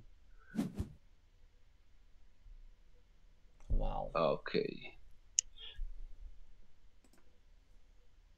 And look, uh, at played almost instantly. Like I think Bluste has calculated the remaining tiles, and he now just made sure that should cannot draw a quadruple city tile and like expand the city, making sure that it does not get shared. Probably what should could do is just simply merge these two cities, prevent Bluste from getting these additional points. But again, seven point difference. Like there's we're running out of tiles, and the Japanese player needs to compensate for that difference somehow. Yeah, I think maybe you have to just take that three point city now, but I don't know. I, I would be hesitant to do it. Maybe just join the two cities. Maybe just uh, join the cities on the right, and then you can attack. Yes. Oh, so Bluste gets yeah, Bluste gets a quadruple city tile, and because of this move that should play, Bluste is now not able to place this tile over here. But at the same time, this tile is good for Bluste because this means that should is now not getting this tile. And this looks like quite an important tile. But yeah. Bluste can go over here and still hope for the curve and try to pre pre finish this road. One, two, three, are, four, are there five, six, are there seven, any tiles? Is there any way that should wins the big city still? I don't think so, but now he gets a curve, which was a hugely important tile for Bluste, like, because Bluste now cannot go over here, get a meeple back, cannot, cannot go over here, get a meeple back. Yeah, because now, now should also gets hmm? three points and, and and he keeps two meeples for his last two turns. Yeah, this is this could be the decisive thing. These three points could have belonged for Bluste. Instead, he spends a move just on getting a, a platform for attacking the field and um, ahead four points, but it looks like it will just not be enough because he can't take many more points really. But there's there's still this move, right? There's still a city cap that's remaining, one regular vanilla city cap. But he needs to draw it like ASAP, and even that might be not enough. Yeah, uh, I, I think as Bluste, maybe you just defend the city on the right right now. I don't know if there are any any attacking tiles left. Maybe this was the last one. I think this was like like there are no Dori. Yeah, there are no Doritos, and there are no uh, triple city tiles. So the idea of like attacking the city from the left is not like, I think what he should do is maybe, like, go over here, prevent this road from being taken.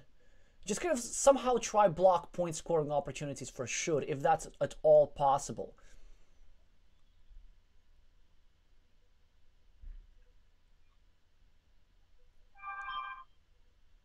Yeah, maybe you can just. I don't know if it's possible to close this uh, empty cab Oh, there are two empty cups. Forget it.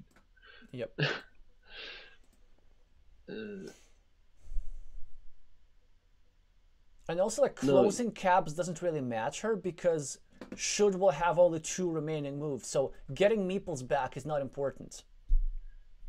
Yeah, the, there's there's a three point road that may be a four point road. There's but there are no not many things that are more than three points, right?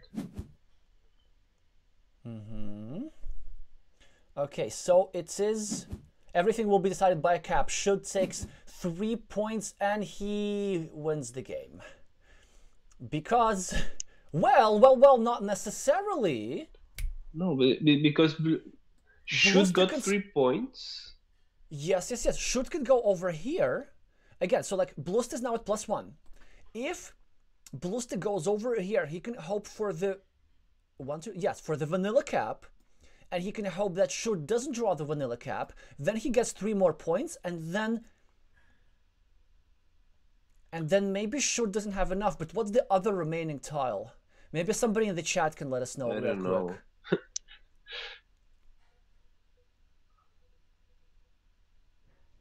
I think it's a straight line.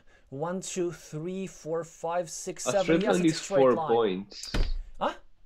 A straight line is four points right now. Yes. So so maybe you can prevent that right uh, now. No. Oh yes. The, the, go over here.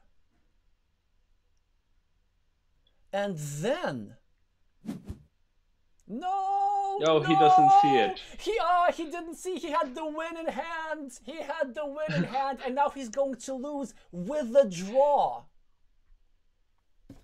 Should is going over here, taking the four points. Bluste takes the city cap, goes over here or here, and then the game ends in a tie, but Bluste loses because he was the starting player, and the win was right there in front of him. Oh, what a heartbreak. Yeah, that's sad. I mean, like in his defense, like we get to sort of solve the end game together discussing these kind of things, but it's it was so close. And also, by the way, Bluste had two chances. He could have blocked this road with this tile as well, like placed it over here. So just shows you how important endgame precision is. By the way, let's also double double check if we even counted the points correctly, but I think we did. I think it should be a draw, and, and then in that case, the Japanese player wins. I'm now going to refresh. Yep. Yep, it should be like that. 21 points for the yeah. field. Beautiful field, but it is a draw, which is a loss for the Croatian player. Yeah, I wow. lost in the in the very last move. Well, uh, that's heartbreaking. And he had 56 seconds left. Yeah. Um, so the Japanese player should be very happy about that. Yeah. What a close miss. But this just shows you like the experience of the Japanese player that's in these critical situations it's um sometimes the small moves like this makes all the difference. I'm going to update the score right now. It says 2-1 in favor of the Japanese player. The Croatian player still has chances to qualify and certainly gave a fight. But yeah, sometimes these things happen. In fact, uh, so I played three duels in the Carcassonne Champions League so far, and I won two of these duels due to my opponent's last move mistake. Um, yeah, so, I I also won. Well, I, I I won two out of three, and in the first one, I I think I won both games because of last move mistakes. I'm sure I won the second one because of a last move mistake as well. well, yes, certainly. I'm I'm I'm happy that just we managed to capture such a moment on camera.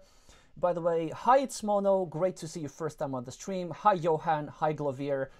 uh, well, this is the kind of stuff that happens in these streams. So if you like what you're seeing, subscribe to this channel, and we will be making at least weekly coverage of all the most dramatic moments of the moments of the Carcassonne Champion League. But we don't have time to dwell on that uh, so much because there's another match we'll be watching between a Sung Yu Chin with a screen name uh, Self-Evident Chu, an extremely strong player from China against another against a different Japanese player with a screen name ekkyu.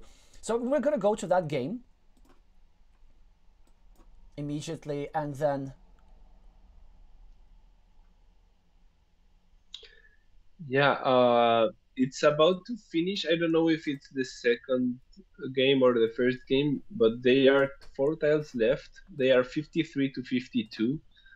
Uh, the Japanese player has a huge city with two meeples. And the Chinese player has a very big field with three to one meeples. Uh, so I don't know who's winning. That's perfect. So, uh, Elias, I'm gonna I'm gonna let you make sense of uh, I'm gonna let okay. you make sense of this position. I've put it on the screen. In the meantime, I'm just gonna do some score updates.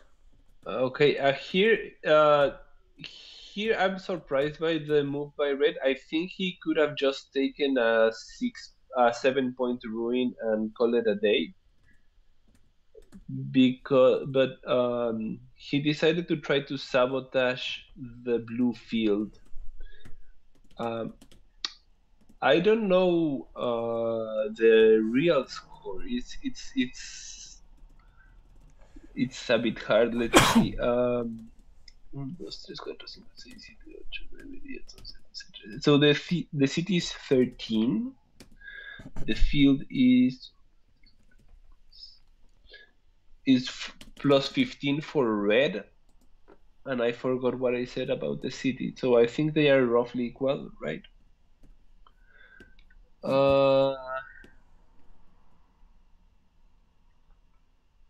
this is an interesting move. For for me, this uh, two point move means that ekkyu doesn't think it was possible to close the city, and he was probably right.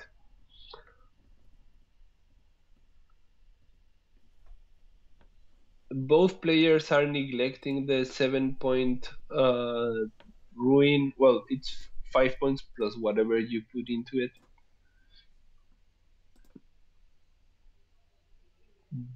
Uh, Milby self-evident wants to try to join.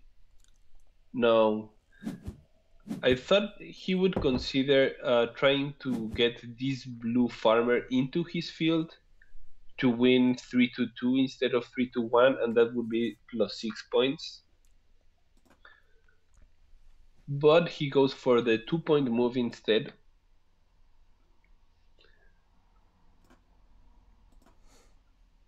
Maybe he figured that this is already enough, that he doesn't need to risk and get six points. He just takes the two safe points, one for the road and one for the monastery, and then he will have um, a meeple to spend it on something else on his last turn. Yep. Uh, I guess he will take the six point green now. Yeah.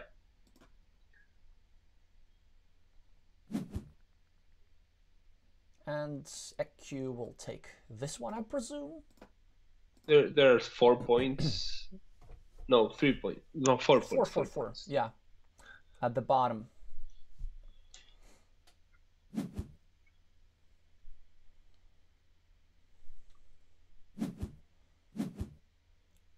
Okay. So hard to evaluate when we just jump in in the very last moment, but I think red should be winning by a little bit. Let's see.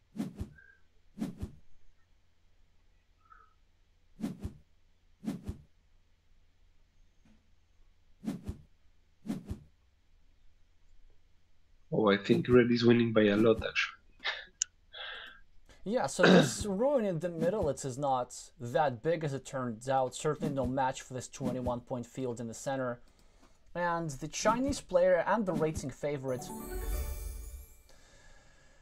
the one of the highest scoring one of the most important players of Team China at the World Team Carcassonne Online Championship 2023. Need to remind that China is the reigning world champion in this Team Carcassonne Online format, and also regains back his master title just over 700 rating threshold. So the first one goes to Self-Evident 2. Yeah, it was the first match, the first game, sorry.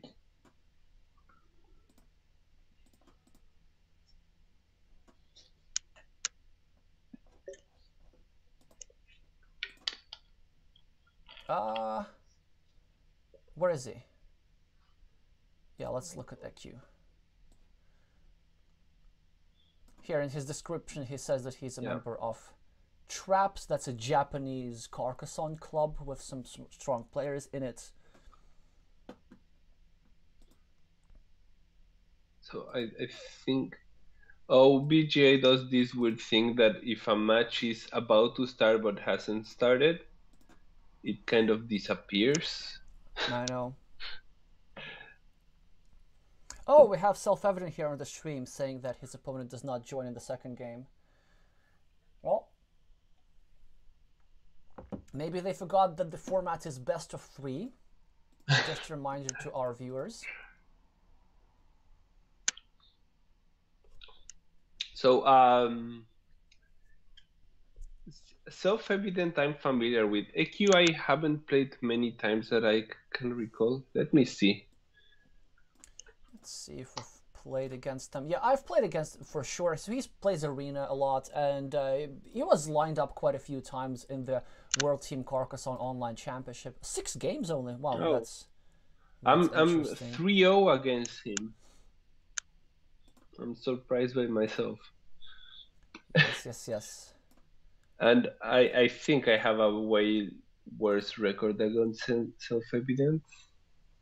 Oh, no, I'm 1-0 against self-evident. Well, look at that. Um, I'm undefeated against both of them. I know, I know, you're very strong, Elias, but my viewers already know that.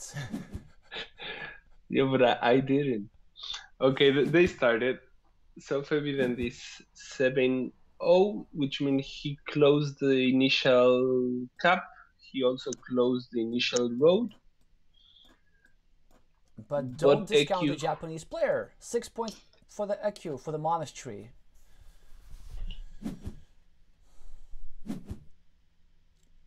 Some aggressive scoring from the Chinese player. Instead of t- instead of continuing his city, he just pre-builds a four-point road, a strong move. And if ekkyu, you're gonna meeple this again. I like this. Meeple this again. That was just yeah.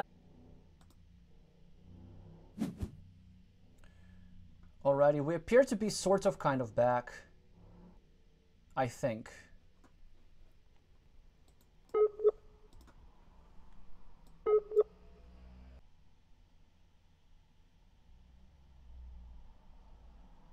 Okay.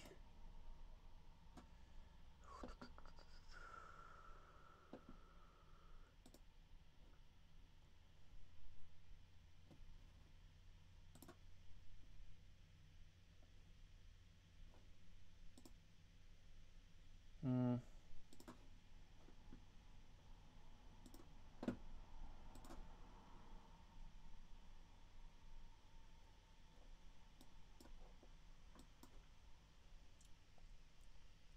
Oh, okay. It looks like there's something going on at the very least.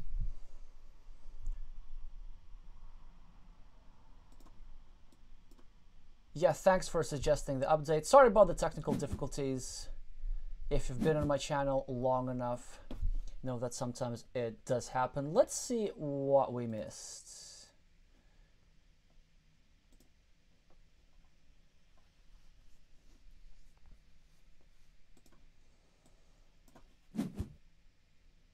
Well, self-evident is now six points ahead on the scoreboard. Starts a new city in a way that makes it harder for blue to continue his city and also pre-builds a long road.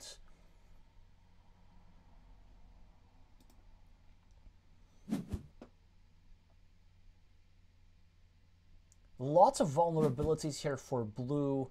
Red finishes an 8 point city. Blue is about to lose a meeple over here. All red needs to draw is like a road tile and then this meeple will be lost. Red has finished an 8 point city, but Red is now debating whether to place a meeple over here and try to take over the city at all. I probably would, just for the sake of creating more threats. I think it's a strong move. But let's see what Red actually chooses to do. We're going to get back Elias in a second, I think.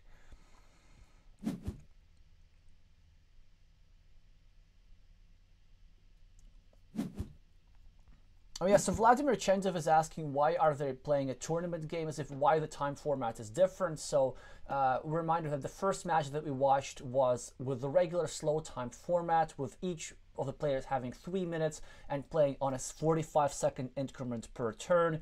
Here, there is no increment. Each player has 15 minutes from the start and uh, they have 15 minutes to complete all their thinking in the entire game, so as opposed to an allotted time per move. The reason why the time formats are different for different matches, it just has to do something with the account settings that different players have on the board game arena. So the length of the games will be roughly the same. Self-evident now 16 points ahead on the scoreboard. Finish the city over here.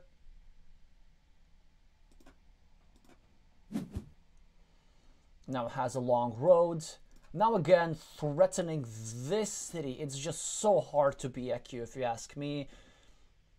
What do you do? I mean, you might go over here, defend this square, but it's not like it's super worth defending because there are only two regular vanilla city caps that fit there anyway. So if you ask me, maybe you just take two points over here, defend it indirectly, or you go over here and simply try to score seven points for this monastery.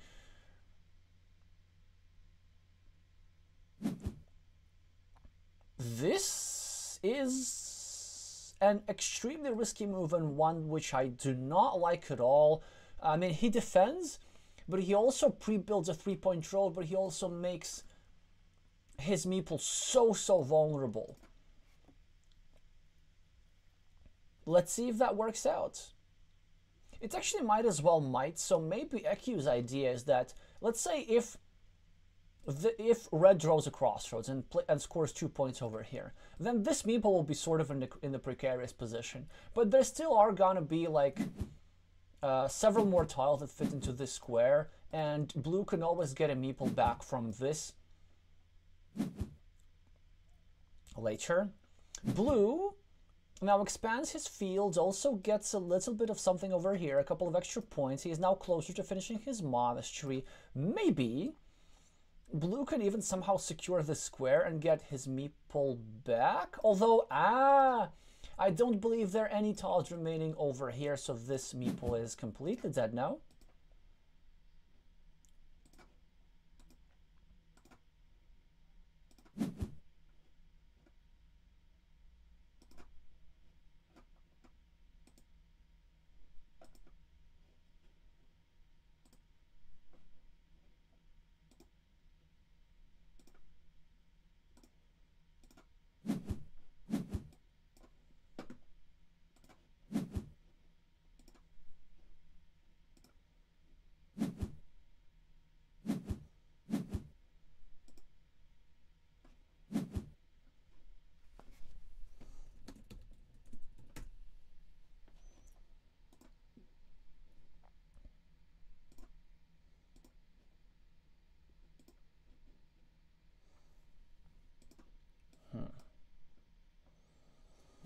16 points ahead on the scoreboard, now a little bit less players exchange quick points, and ekkyu does get a second meeple back, so all is actually not that bad if you ask me.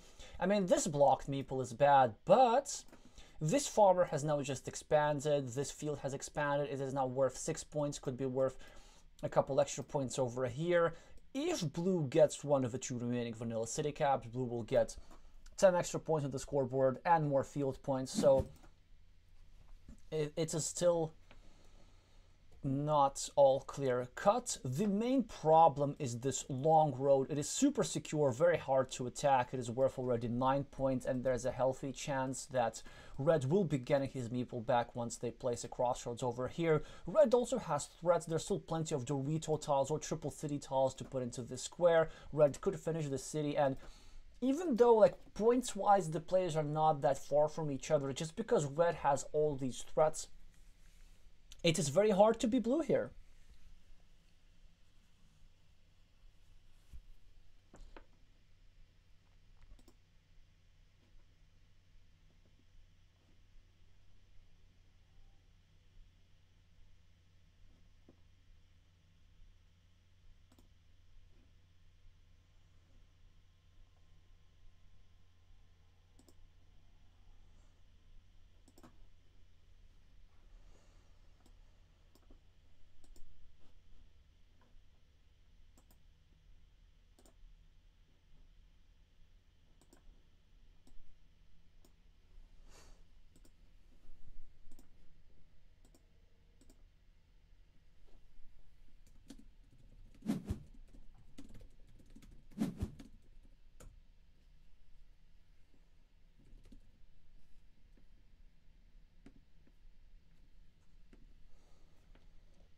So ekkyu starts a new city at the bottom in such a way that makes it slightly harder for red to finish his city, but red is unperturbed. Red just decides to start a counter field uh, on the left, so a six point field, but because there are these two empty city caps, it potentially could grow to 12 points or possibly more.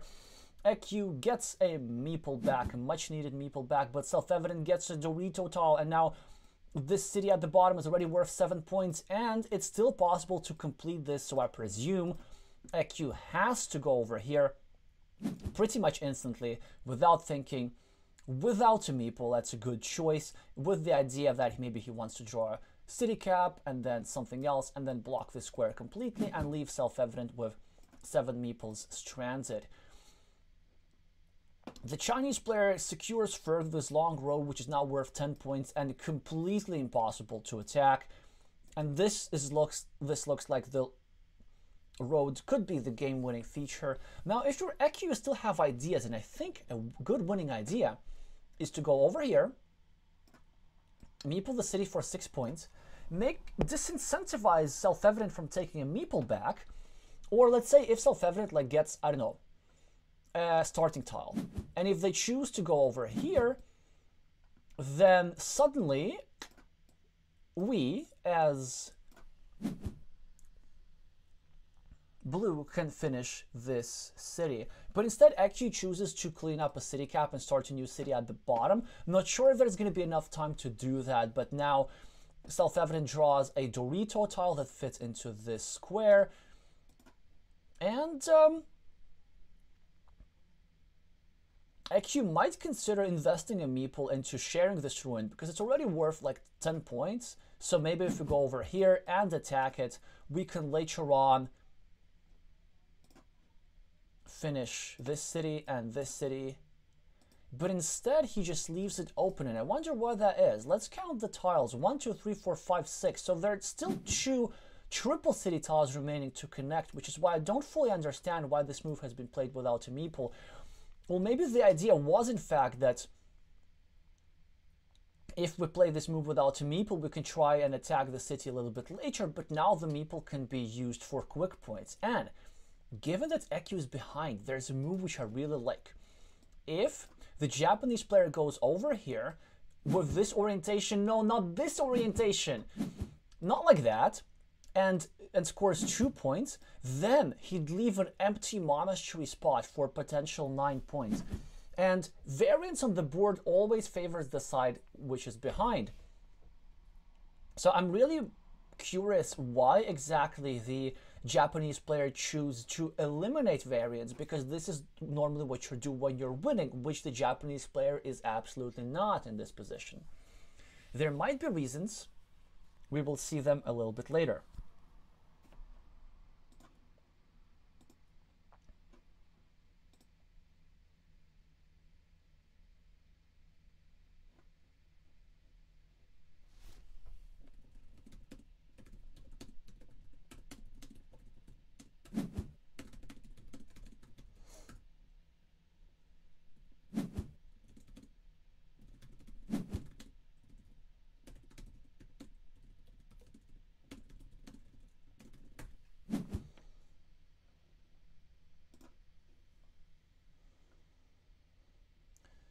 Self-evident starts a new city, which is why ekkyu breaks the new city immediately after. Uh, well, it, technically, blue is adding two points to red city, but with that, blue is making so much harder to actually complete this city, and the Chinese player has remained without meeples. Not that it should really bother him.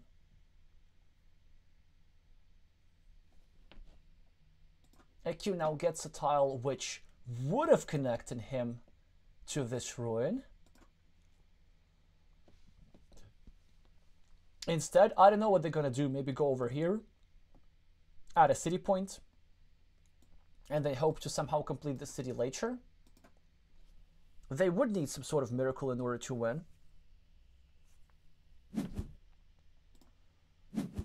Oh, I like that. So he even drops a farmer knowing that there's still two monastery tiles in play and that he will later be able to connect to this field like this, equalize these farms, and maybe his plan is to finish this city and then maybe score some quick points over here if there is a tile available, and I believe there is a tile available that fits here.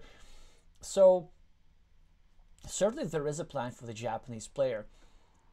Now it's interesting. So with these caps, what do we do? Maybe we try and put them over here and finish this city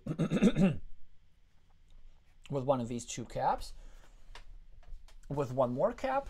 Or we could maybe go over here and hope to finish this city instead because there's one Dorito tile with the road remaining. So he goes for the cap approach, which certainly makes sense. Now self-evident will presumably go over here, putting pressure on this square and putting pressure on this square as well. But this is a precise move because... Actually, no. There are no daggers remaining, so there's no dagger asymmetry. So the better move was to go over here. Because the problem now is that self-evident can go here and attack two squares with one move. So that was a slight misstep here by the Japanese player. And I did spill a bit of hot liquid on myself right now.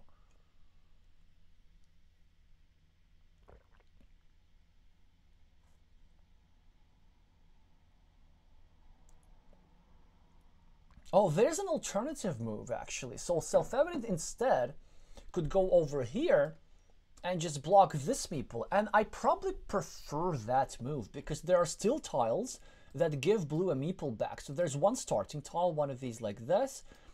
And there's also um, one of those, which is two tiles, which is two tiles too many.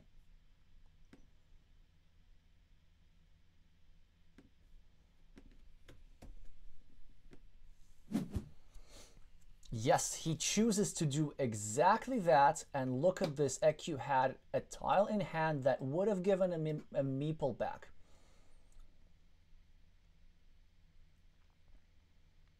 And now really ekkyu can't do that much, although maybe a good move is to go over here and drop a city cap in his field, trying to score some three points extra. Not like but instead he chooses to finish a shared road and uh, give self-evident a meeple. Yeah, um, I'm a bit surprised about that move, but maybe ekkyu's idea was to get a meeple back, so let's see how he actually uses that meeple. Maybe here, scoring six points for the field with the idea to draw the last remaining regular city cap and put it over here and finish this guy. 1, 2, 3, 4, 5, 6, 7, 8. There's still a curve remaining, I think. 1, 2, 3, 4, 5, 6, 7, 8. Yes, so if um, ekkyu draws a city cap and then a curve and then a starting tile maybe for, for here, like he could be doing quite well.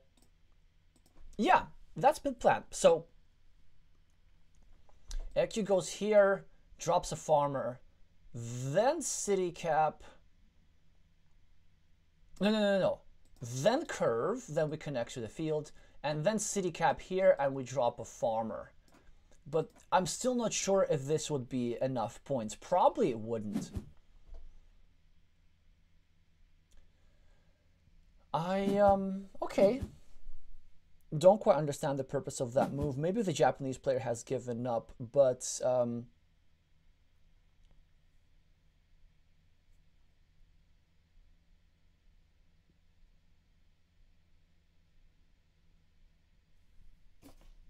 Self-evident finishes this gigantic road, gets a meeple back. I presume ekkyu would need to go over here, take a six-point ruin, and then with the last tile, which is going to be either a curve or a regular city cap, simply complete the field connection, just get these extra po six points. Certainly a bit unfortunate for Blue that he didn't manage to get a connection tile earlier. Also very surprising move over here. He's trying to connect to this city instead. One, two, three, which I'm not sure is possible at all. Yeah, so there are no tiles. Or are there? One, two, three, four, five, six, seven. Oh yeah, okay, there's a triple city. So the, yeah, but the, the problem with this move is that it is easily blockable with any of these tiles, right? So what Self-Evident could do now, he could just go over here and neutralize this and place a meeple over here. And had Self-Evident gotten a curve instead, he could have gone over here with a curve and block the square. Because the triple city that is remaining, it is uh, the regular triple city, so then, no matter what red was going to be drawing, this field connection would have been blocked. ekkyu does draw the curve, which will need to go over here. And as a result of this, I mean, blue is getting something out of it. So blue is getting three points for a meeple, while red is getting one point for a meeple. But it looks like this will not save blue from a sure defeat.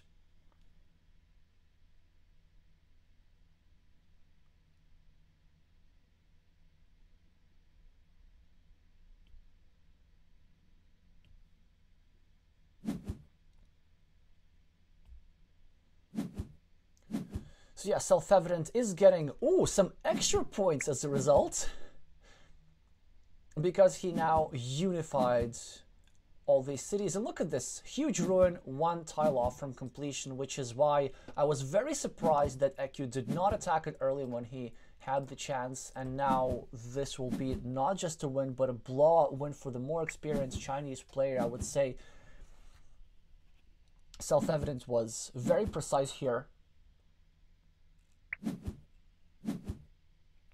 and um, showed why he managed to make it all the way to the semifinals in the World Championships in Germany earlier in 2023. So plus 23, convincing victory for self-evident is going to be 2-0 and they finished just in time before the next match, our final match for today. This will give me enough time to update the score. Unfortunately, it will be it will give me not enough time to get Elias back on stream. There will be some technical difficulties. I will need to continue this alone, but um, at least I'm glad that we got to got halfway through with Elias together, and I will be having special guests for future stream too.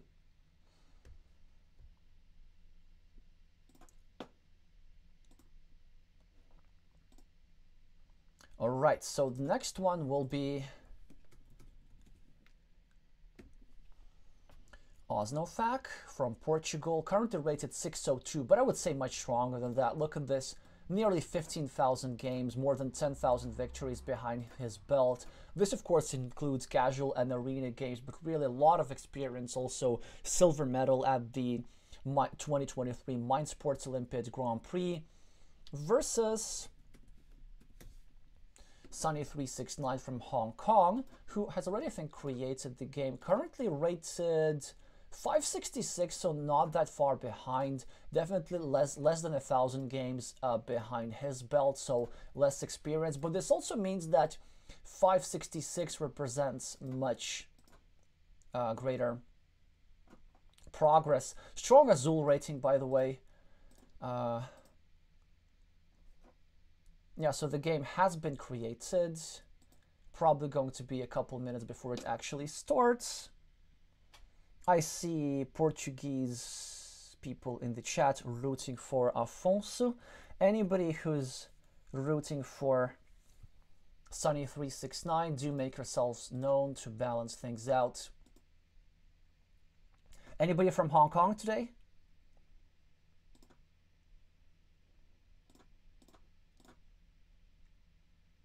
The game has not yet started.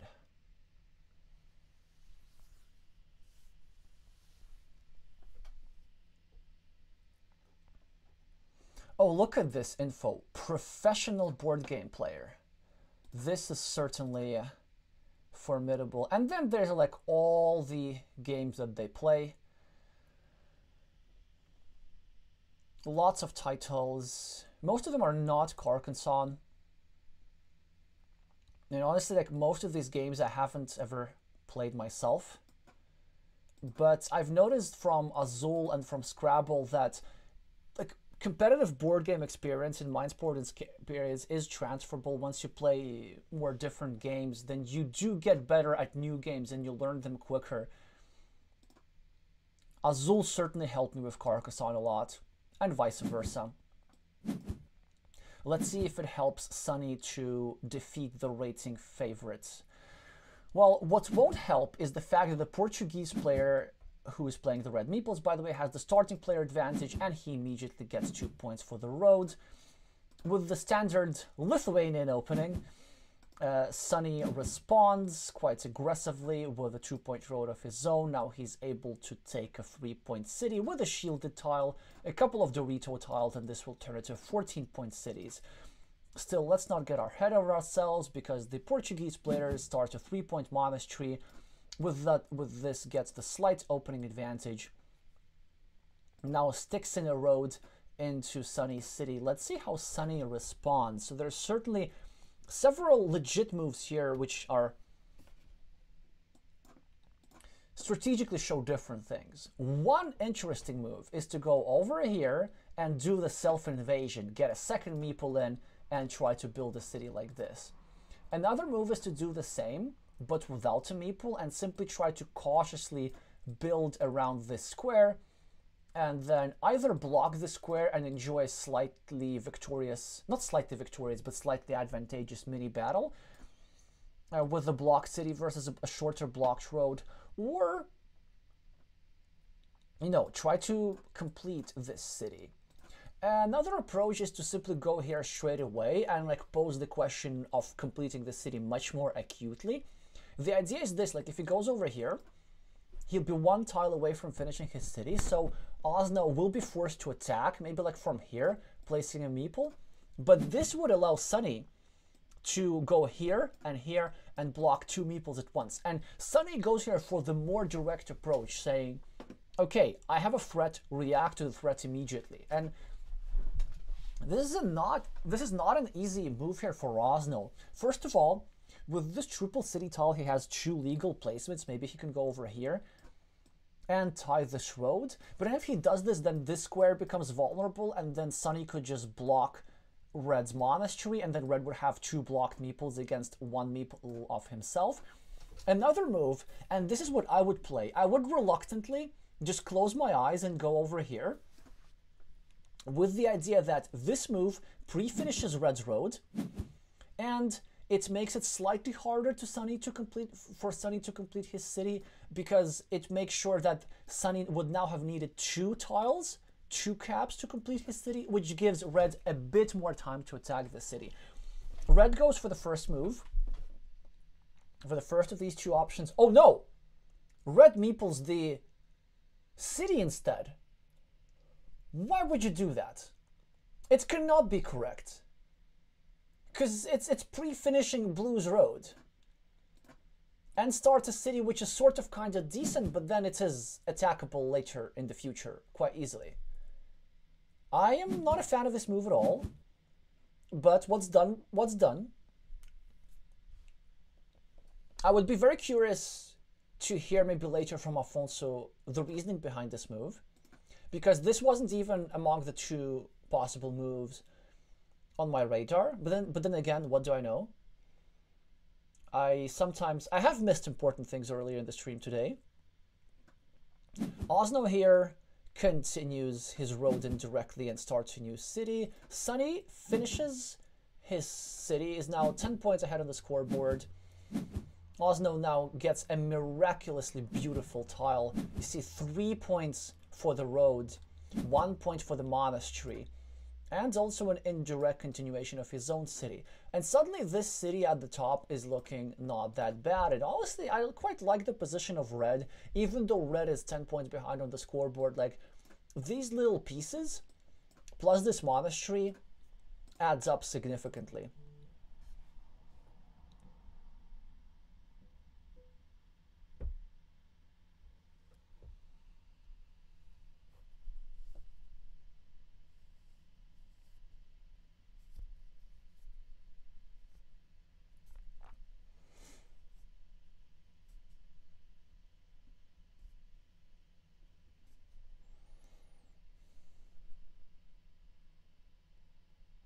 Yeah, I've heard about Xiangqi, uh, but never played it.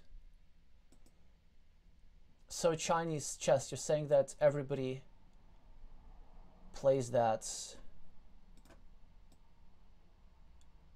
Well, that Sunny three six nine played that. I'm, I'm not sure if it's just called Chinese chess or if it's any similar to chess at all. If it's remotely similar to chess, then probably that experience would help with Carcassonne because like you have I mean I do I do play chess myself and it has played Carcassonne in the sense that it gets you spatial vision spatial like, like basically that you can imagine things in space. This helps with Carcassonne as well.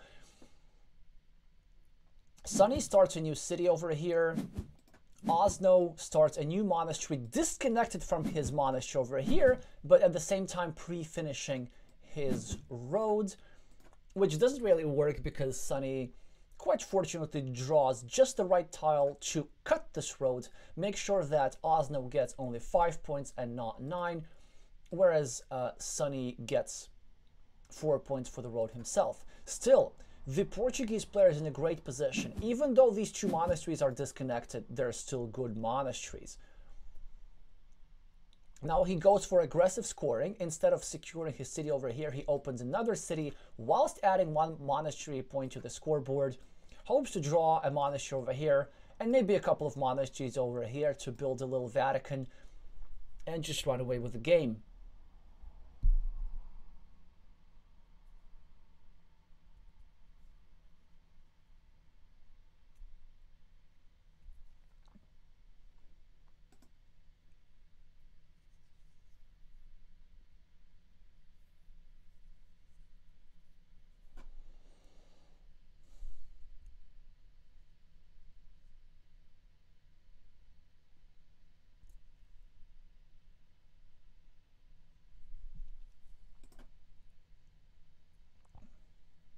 Sunny's now thinking quite a lot about this move.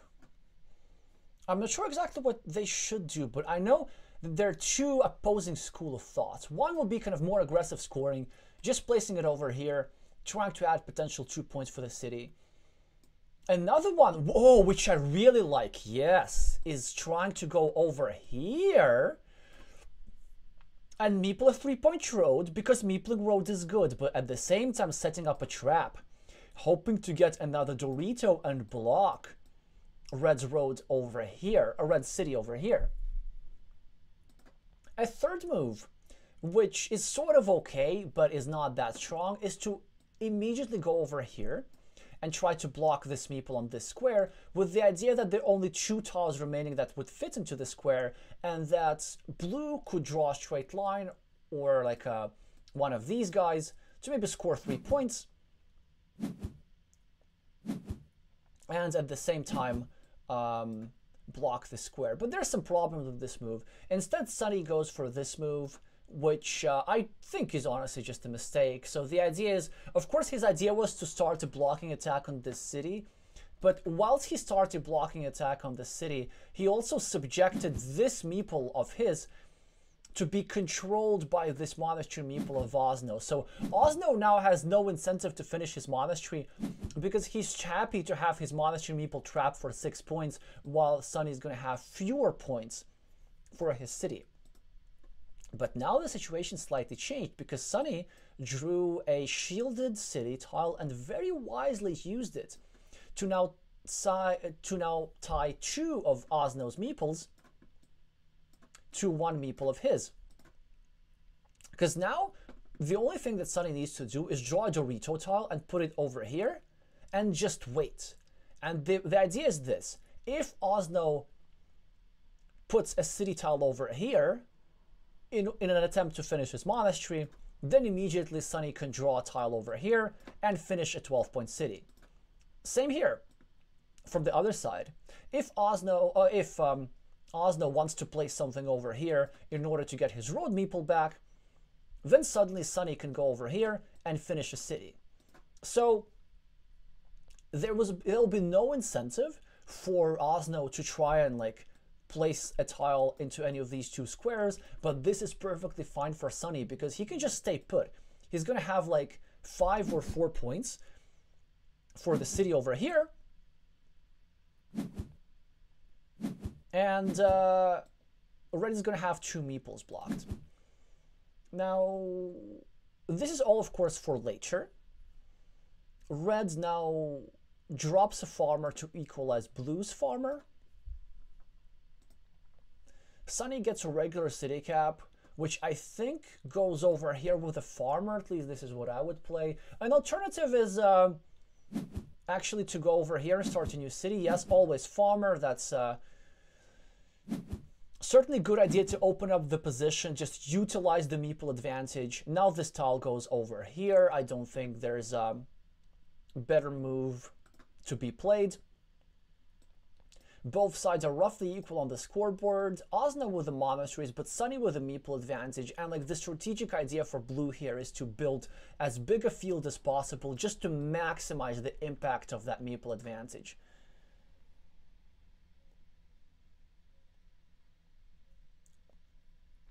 Good to see that after our technical difficulties, our viewership numbers are back. So just a reminder, if you like what you see, then do make sure to meeple the like button so that more and more players find out about the Carcassonne Champions League.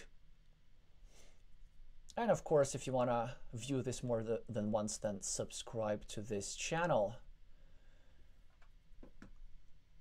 Sunny here's thinking. So what are some alternatives to this move? Now, this is kind of theory. This is uh, a well-known pattern, so this is clearly best. Um, what are some alternatives? Maybe starting a new city over here. No, no, over here. Yes, over here is better because it kind of puts some pressure on this square, on this square a little bit, and uh, maybe there's a tiny chance how we could block this farmer for three points which would put like a complete ironclad on this field. So that's that's great that the Hong Kong player does in fact find the best move.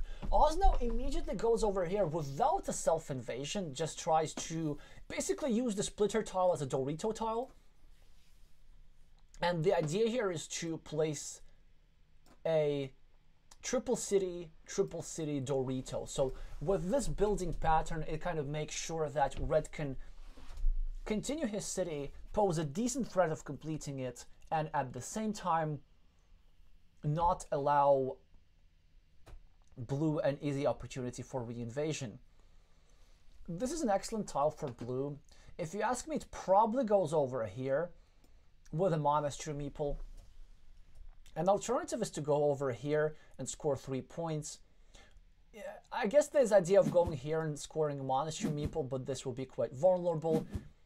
This move is good.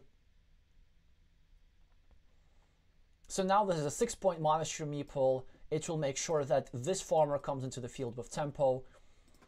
Osno draws a monastery and immediately places it stacking next to his monastery and controlling Blue's monastery at the same time. So I think Blue's idea here will be trying to put pressure on this sensitive square. So maybe if you're Blue, it's not the worst idea to go over here and start a new city.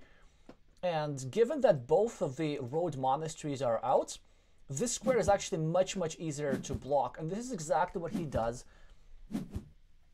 Osno does not draw a defense tile, just uses this tile to score three quick points. And there we go. Sunny now gets a blocking tile, which honestly I would use here. I would go over here, over here, and make sure that nothing fits into that square. But maybe there's an even more elaborate way to block. Like he could just finish his city. And, uh, well, this is better. This is better. So very nice sequence here by the uh, player from Hong Kong. So, Afonso now places the straight line over here, which is a strong move. It puts some pressure on this square. It puts a little bit pressure on this square, actually, which is also important. And it's also surprisingly significantly restricts the field. Okay, there's like this one green square, but if red finds one more straight line, the impact of these two farmers might suddenly be strongly reduced.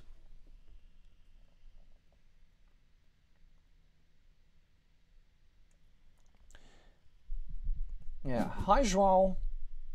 Oh yes, thanks for mentioning in the chat, Elias, that there's going to be another stream tonight on the channel of uh, the American streamer Vamos Cosmos. That's not YouTube, that's somewhere else. Uh, yes, they will be streaming the evening match featuring the 2017 world champion Thomas Preuss, and that will be at 1900 UTC.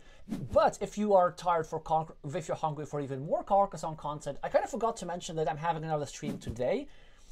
Last time I had issues with my voice, and I couldn't finish my viewer game analysis stream that I held last Sunday. So this Sunday we're finishing it. We're having um, at 4 p.m. today, which is like literally two hours from now. Basically, there's, there's going to be this match is going to finish. I'm going to have a short break, and we're going to have a viewer game analysis stream for more Carcassonne on Sunday.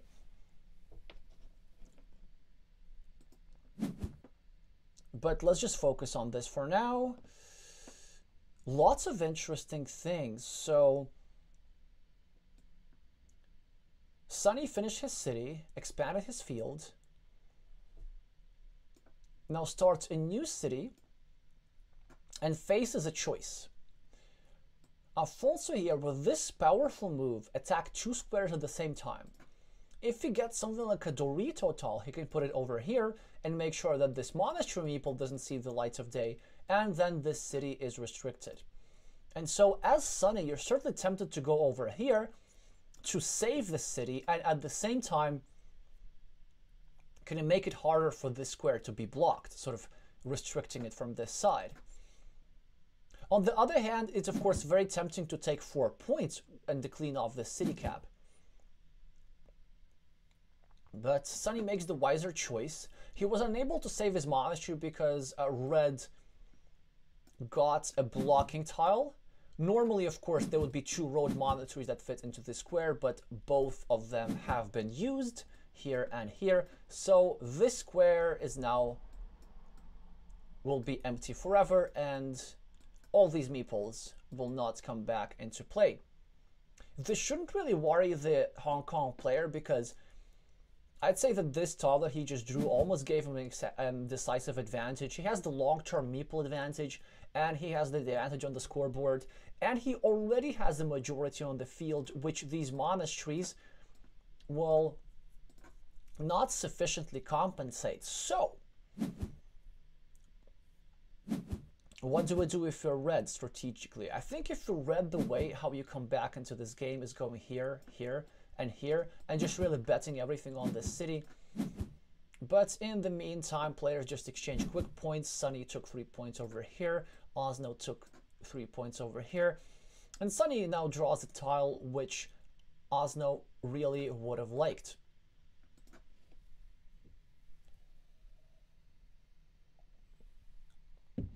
But on the other hand, it's not like Sunny has a use for this tile himself. Maybe he, he could go over here and clean off his city cap. But given that this city cap is potentially on his field, he doesn't really have a good reason for cleaning it up. So the one move that I do see is maybe placing this tile over here and putting some pressure on this square. This is also legit, trying to make it a bit harder for red to connect to the field. And if he makes sure that he blocks the square, this will make sure that the two meeples of blue have free reign over the big field for the rest of the game, which should be enough in most cases for blue to secure the victory unless red successfully finishes this city.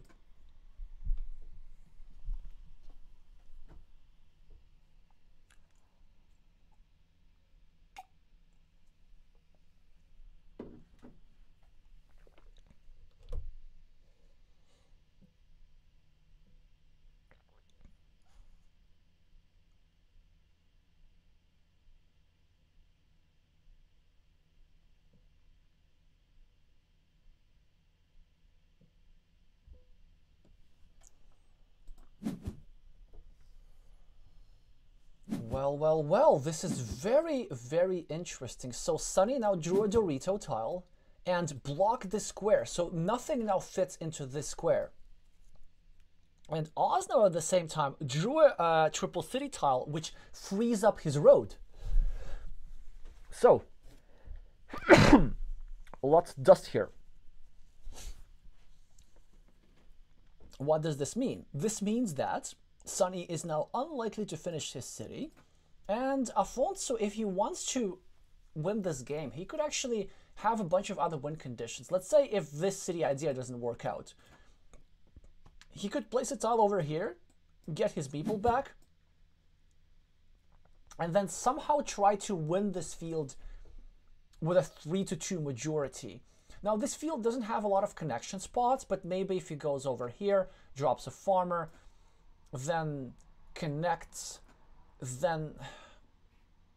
Actually, yeah, it's kind of hard now that I think about it. Maybe a Dorito here and a field connection here. Wow, this field is really impenetrable. I mean, th there are some outside chances, like for example, with back-to-back -back curves over here, one could sneak in from the top, or we could use the method that Sergei Zakharenko does, uh, the uh, captain of Team Ukraine, this player with the screen name Zaharik.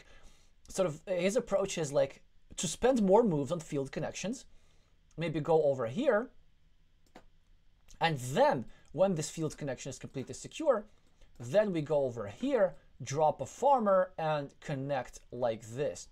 The downside of this approach is that it takes a lot of time. The upside is that if this approach if you can pull off the sequence, uh, sequence, then it's an almost sure win because of the unblockability of this square. But we can see that the Portuguese player chooses to do none of that. He, in fact, simply wants to win a fieldless win, it seems to me, and just tries to restrict his opponent's cities. And he's successful almost. So there's now only one tile that fits into this square because two of the three daggers that go into the square are already on the board. And if Afonso manages to draw the first one, then this meeple will be deceased. The biggest problem for the Portuguese player here is the scoreboard, scoreboard, scoreboard. Like, if not for these 10 points, then these monastery meeples would have probably been enough. Now, what could Sunny do? Sunny could start a new road. Let me think about it. One, two, three, four, five, six, seven, eight. Mm, one curve remaining, but there's still some daggers. So I would probably go over here and merge the two fields at the expense of three points just to make sure that I still have this like strong grasp on the field. And then um, if I get this meeple back, which I still could do with uh, Crossroads, yeah, then I think I'm doing pretty well. And he does exactly that. Now, for Afonso, it's a really big dilemma. So he could either start a new city over here, clean off the city cap, or he could go over here and just say, you know, look, it's like it's now or never. i Either I'm going to finish it or not.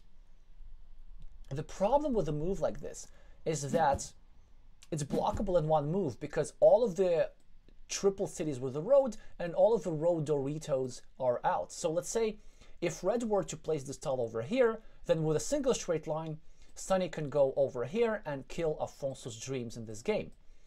Which is why the Portuguese player wisely chose the second prioritization.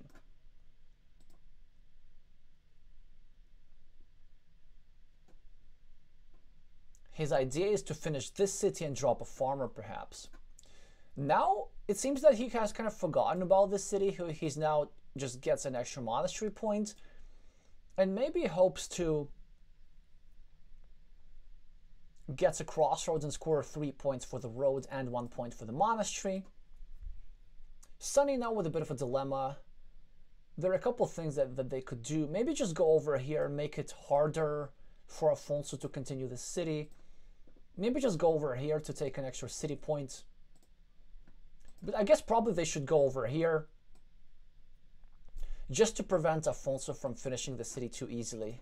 In fact, now that I think of, of it, this move is an absolute must because there are still city caps in the deck and you just don't let your opponent finish 8 point cities this easily. Still 1 minute and 40 seconds on the clock, so all options should be considered.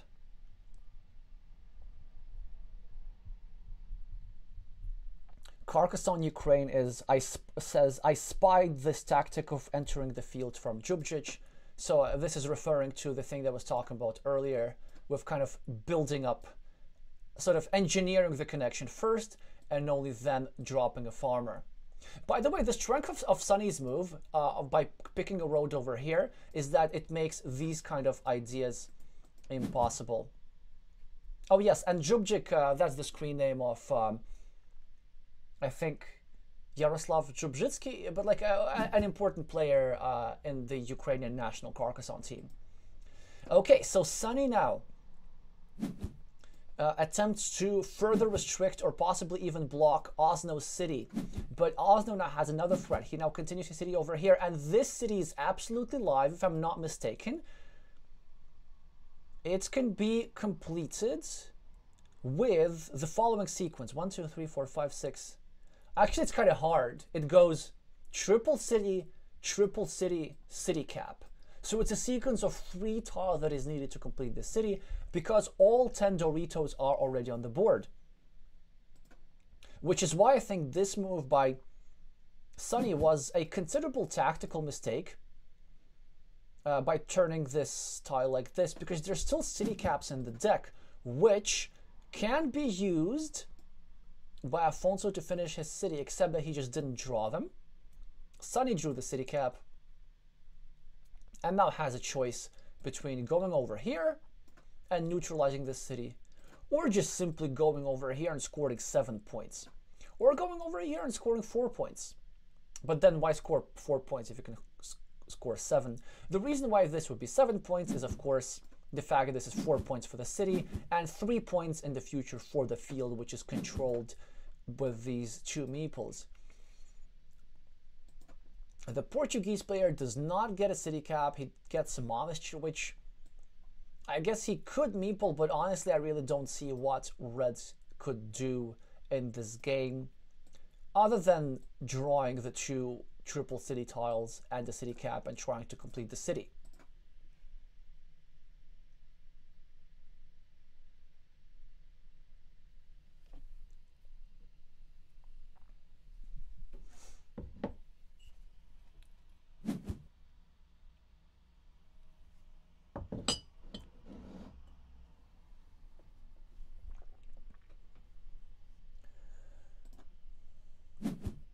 Sunny draws a city cap, and Afonso doesn't.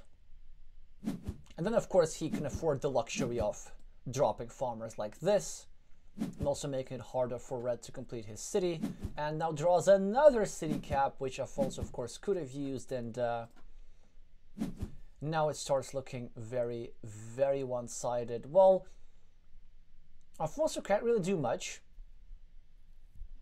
except for maybe scoring some points over here and then maybe merging this farmer. But if you ask me, the best course of action for the Portuguese player is to just make a couple of moves, save some brain cells, and uh, start psychologically coping with a defeat and preparing for the second game.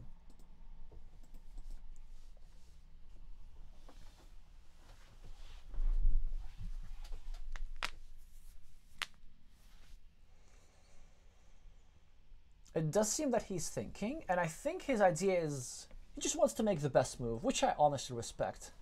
Actually, I think I know what the best move is.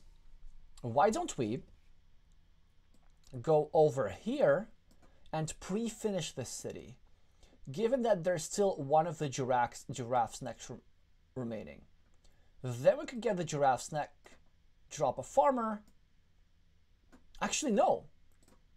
We can go here, meeple the farm straight away, hope for the giraffes next on the next move, and then we can get something else later.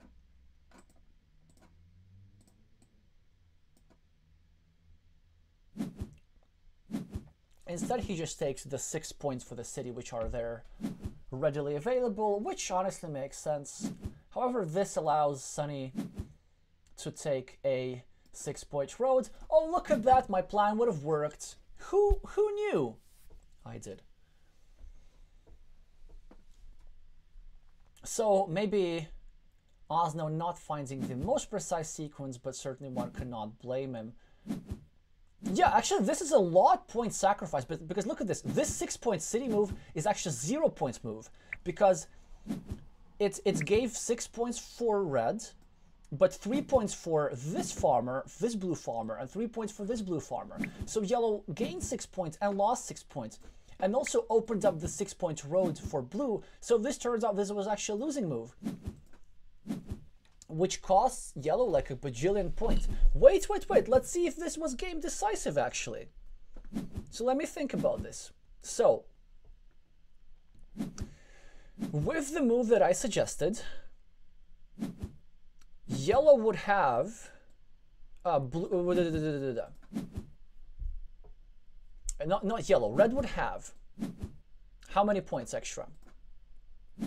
1, 2, 3, 5, 6, 7. So this is extra 9. Uh, extra 6 for this field compensated by this field. So this is, yeah, so extra 9 points. And also fewer points and 3 extra points because this row would have been impossible for blue. So red could have had 12 points more had they heeded the streamer's advice. Not enough to win, but still certainly a move that was worth playing. Well, anyway, it does seem that this game was very, very hard for Reds. Both players agreeing to a three minute break. Yeah, this 24 point field is just too much, and you have to give it to Sunny. Yeah, like at the end, they did draw a lot of city caps, which made life harder for Alfonso, but the whole strategic idea of blocking these two monasteries and then merging the two fields, so taking a short-term three-point sacrifice just to have a stronger grasp on this field. And then again, blocking this farmer by from red, which is also a short-term point sacrifice, just to increase Blue's strategic prospect of, you know, getting field, field, field control and the way Blue built up squares in the field, kind of opened it up, put city caps in. That was a really strong performance by the Hong Kong player. So, so far, it turns out that experience in Chinese chess does help.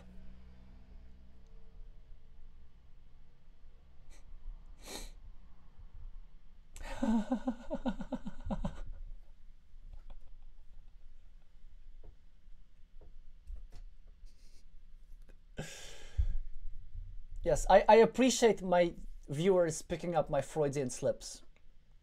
I mean, what can I do? But also, you have to give it to me. Like, I think I managed to sustain myself through months without confusing meeple colors. Like, it's a step in the right direction.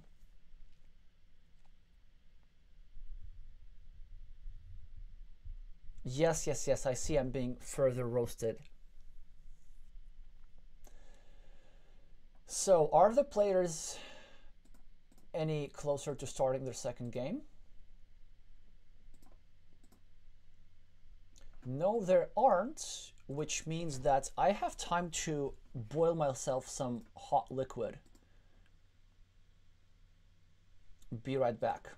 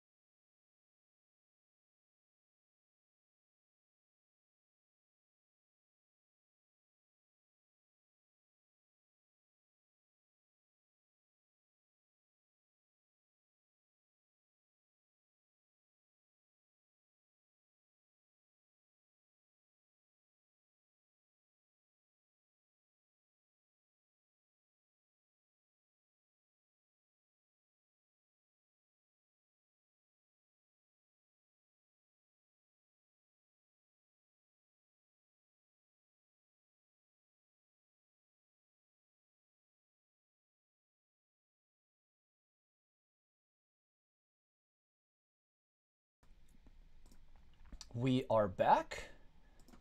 And I'm gonna assume that the game has started. It has. So both players just made a couple of moves. Sunny took four points for a small city.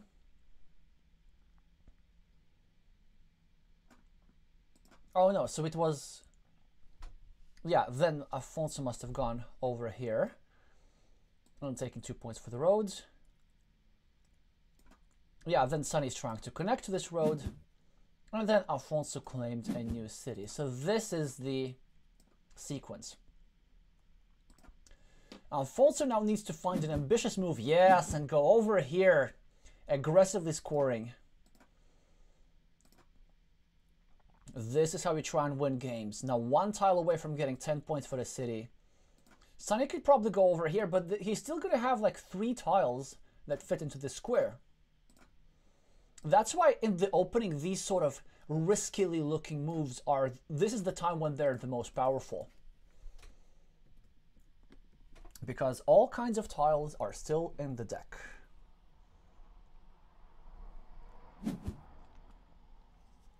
Yes, of course, the player from Hong Kong is doing the thing that they must do. How does Osno respond? This is a very interesting move. Ah, this, so he kind of indirectly protects this city and at the same time prepares to meeple this road when he finishes it?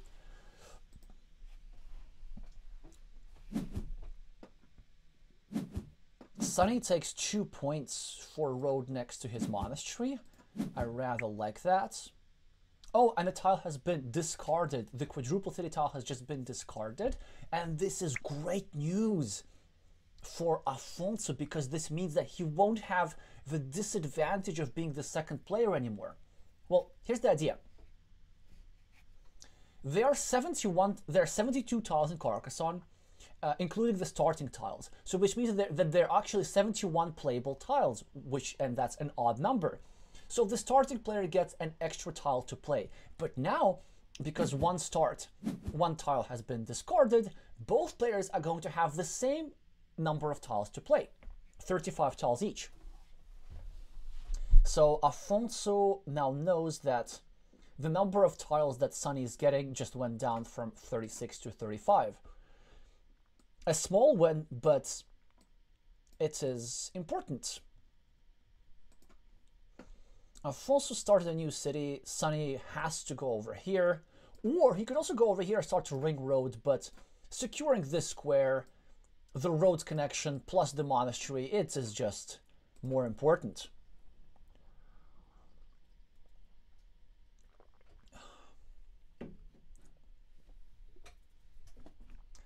I can't recommend hot water enough. It helps the voice so much.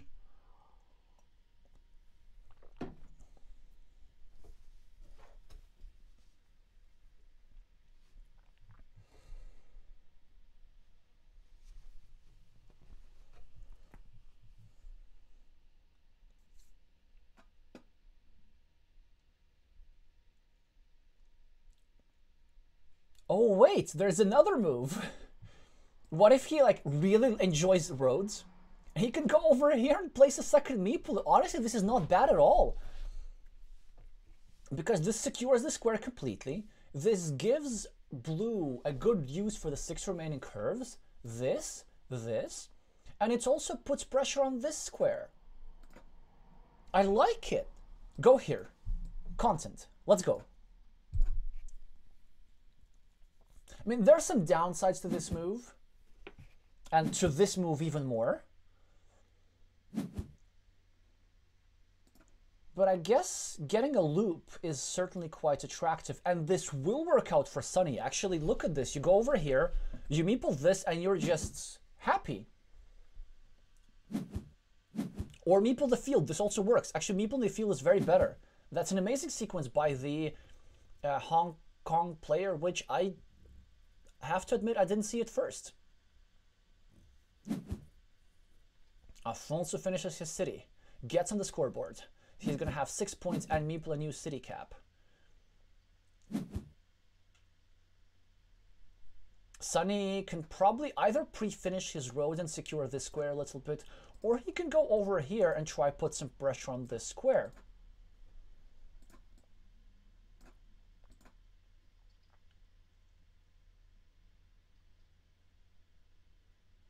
Guess I prefer this move slightly. This seems to be a bit too committal earlier on in the sense that if you fail to block this square, then like if you go over here, you're sort of giving your opponent a three-point road for free. And I really don't like giving away my opponent's free, free stuff. I'm both greedy and stingy in Carcassonne.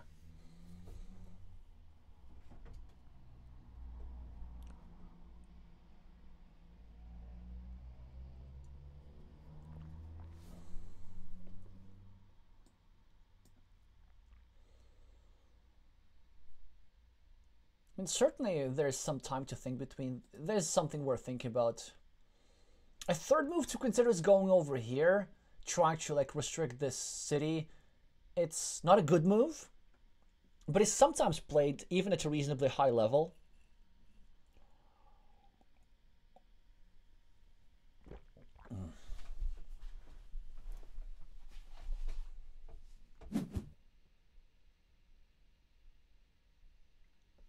And so he goes for the city block. And Afonso says, you know what? I don't need to finish the city. It can wait. Instead, he starts a new city with the intention of placing a curve over here and trying to block this square. The reason why this is so important is the fact that all of the three dagger tiles that could fit into this square are already on the board which means that none are remaining in the deck, which means that this square is unusually vulnerable. Sunny starts in Monastery in an excellent spot. Osno gets his city up top, and this was precisely with the problem with the move that I was saying. Now Osno is able to take advantage of this three-point road. This is why I'm not a huge fan of blocking moves. Because they don't work very often. I guess, but when they do work, you sort of look like a genius.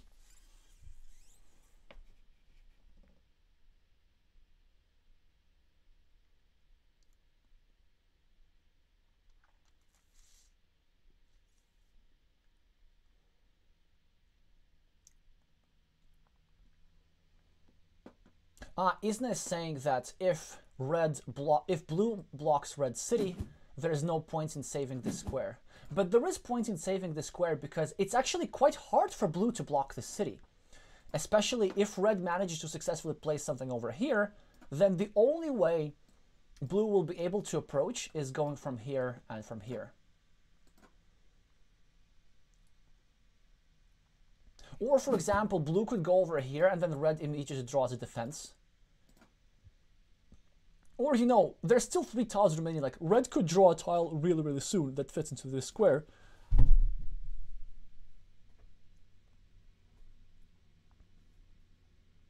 Sunny now has this triple city tile, which I'm pretty sure goes here for so many reasons. We need to prevent ourselves from getting blocked, and we need to put pressure on this square. An alternative, I guess, is going here and starting a new city. And honestly, there's even a chance of like finishing it. Well, okay, okay. That is interesting.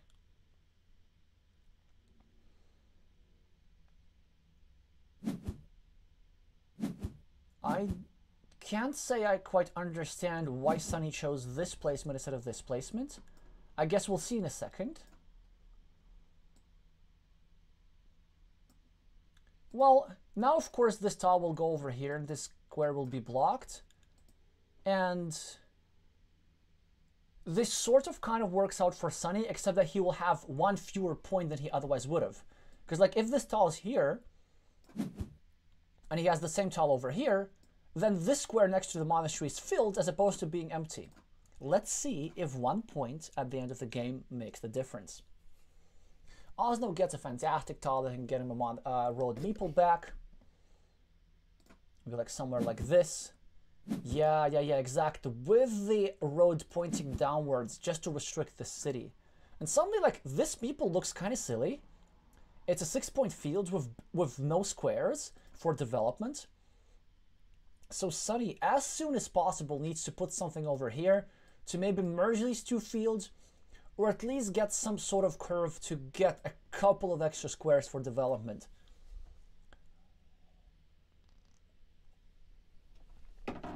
Because if it doesn't happen, then Osno probably wins due to his meeple advantage and the advantage on, on his scoreboard.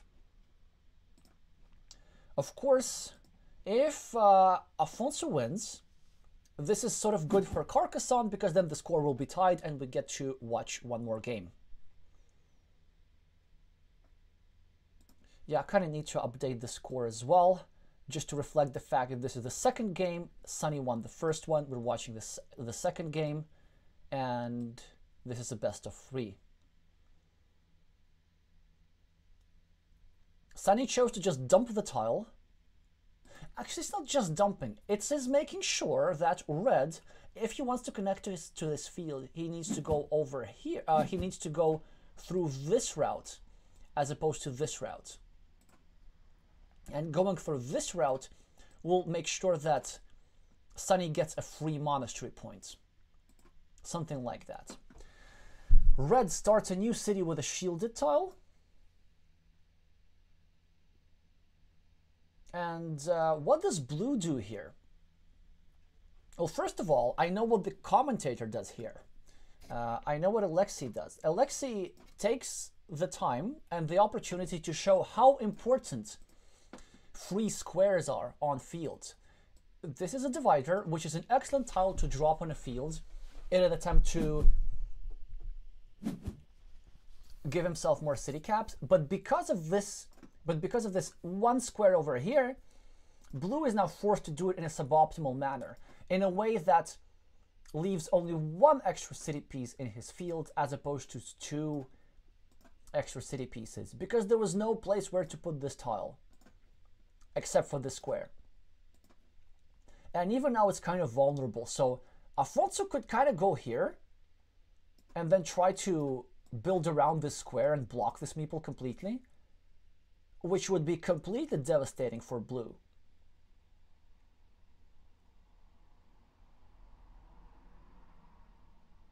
Another alternative that he could do is he could go over here and maybe try to block this monastery and still preserve chances of sneaking into this field from the outside. Instead, red places a curve over here, which I also like. It puts additional threats, a slight additional threat, but, but an additional threat still to this city.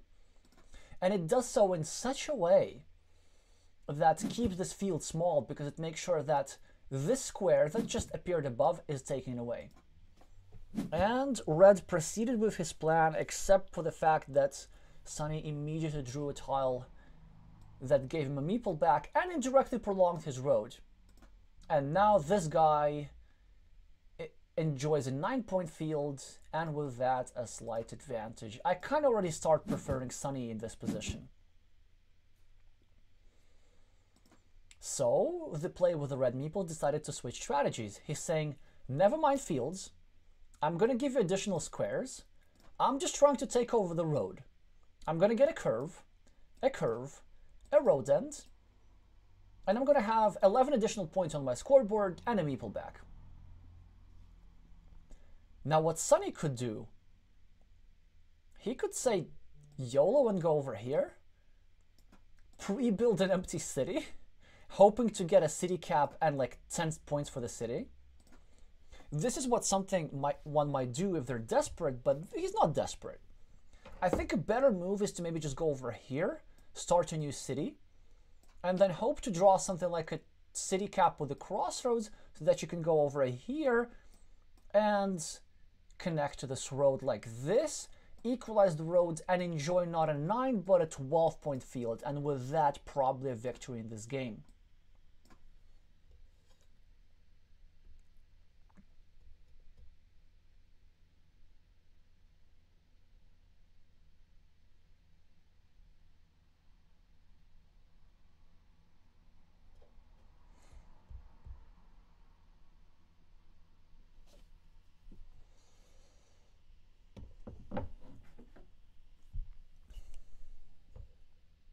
A long time is taken by the player from Hong Kong. Still 1 minute and 20 seconds to think.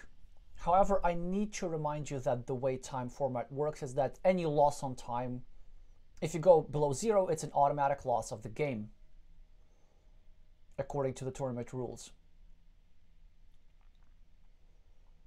So you can't be thinking for too long.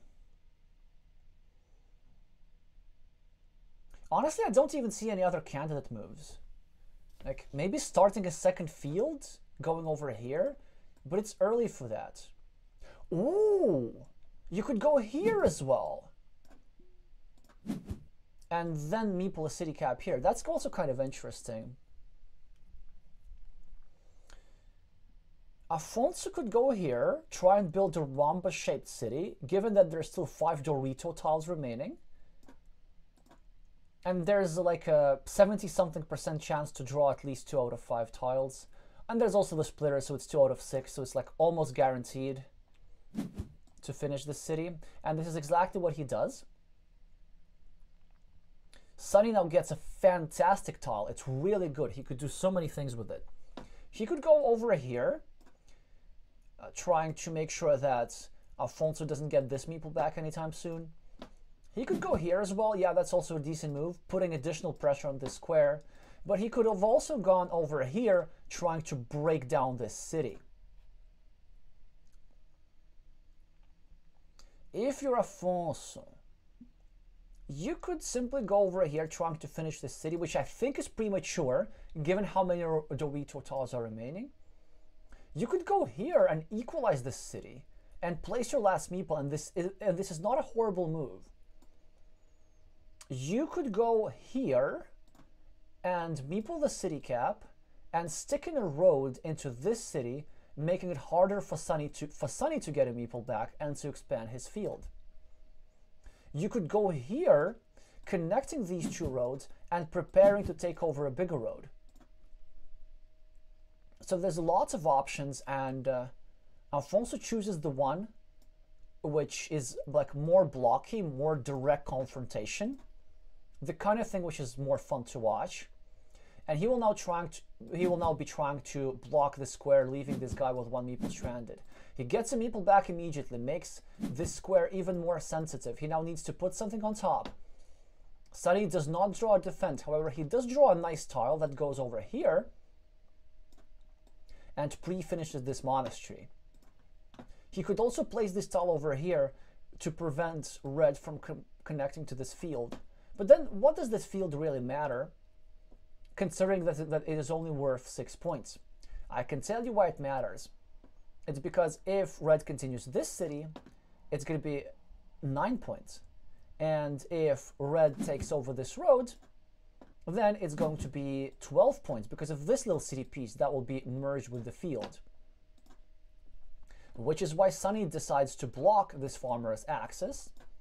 I'm gonna say quite wisely. Osno gets a Dorito tile and continues his rhombus-shaped city. He's one tile away from completing it. There's still four Doritos remaining, so very likely that this is gonna work. Sunny's getting monastery, but it's hard to do something with that monastery.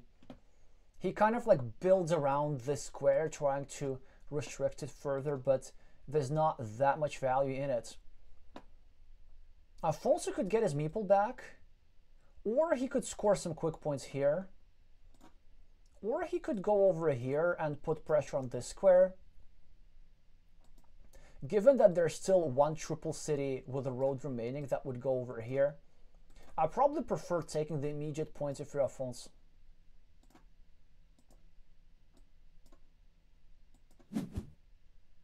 Instead, he Instead, he decides to block, but now immediately the Sunny draws that tile.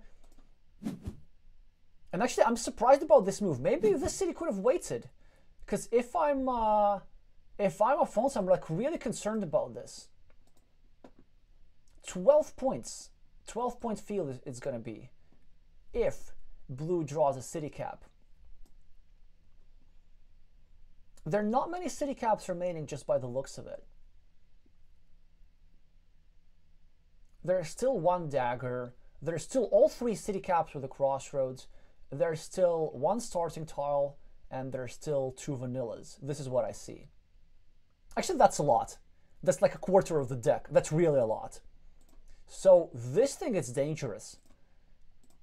Despite the 34 points on the scoreboard for, for Osno, Sunny absolutely has a way back into this game. He has the meeples.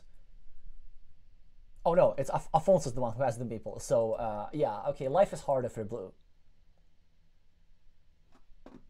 Maybe go here, just get an extra point. And then at some point, as blue, you can kind of hope for a triangle tile that would get you back a monastery meeple. Then you place a road here, block that guy, and then use your extra meeple to do something good.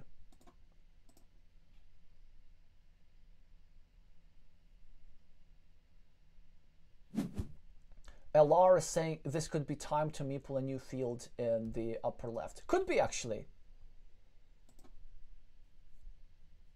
Sort of uh, there's some nice pieces here. Eh, like if you meeple over here and blue continues the city, then you take the city cap, there's a nine point field at the top. It's certainly still a wet position, one where having more meeples helps. But I think, ooh, there's a strong move that I see. There's a really strong move that I see. Okay, if you're Alfonso, why don't we go over here? It's a bit of an unusual move. And we drop a farmer like this with the idea that if we get a straight line, then this city is completely blocked because there are no daggers left. Well, at least no left-handed daggers. Then we have two left, two city caps left on our field to take advantage of, where we can score seven points over here, seven points over here, and have a nine-point field. And the worst-case scenario, if our opponent gets a city cap and continues then we get to actually connect into the bigger field. And Alfonso finds it. I'm really impressed. Amazing find by the Portuguese player. It looks like just really the final nail. Now it will be hard to come back, although I see one option. there's a pattern in Carcassonne when there's dagger asymmetry. Okay, so dagger asymmetry is when there's not the same number of left-handed dagger tiles remaining in the deck as there are right-hand da dagger tiles. There's zero left-hand dagger tiles remaining, and there's one right-hand right-handed dagger tiles remaining in the deck. So there's still a chance for blue to change the orientation of the dagger tiles that he needs if he draws a Dorito tile, places it over here, and then suddenly this type of dagger will be suitable for him to complete the city. And then he'll be able to place it over here, enjoy his 12 point field in peace, and at the same time kind of use this triangle tile to shield himself away from this farmer, then get a meeple back, score some quick points, and then re-attack that field from the bottom.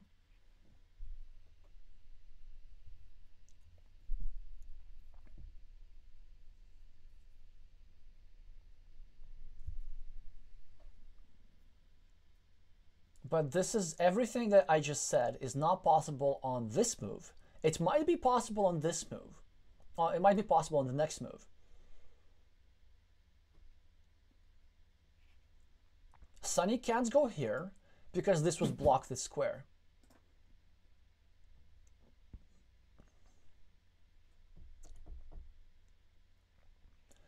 Afonso now gets an extender which might want him go here, I guess, start a new city, and then do something about that square later.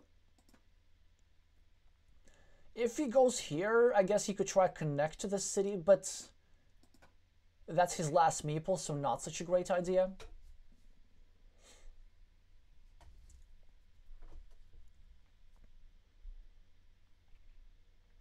I'm actually not a fan of this move if I'm Sunny at all because it looks like it restricts your opponent's field, but that's a bad idea because as Sunny, we want to keep this field open so that we can reconnect to it in the future.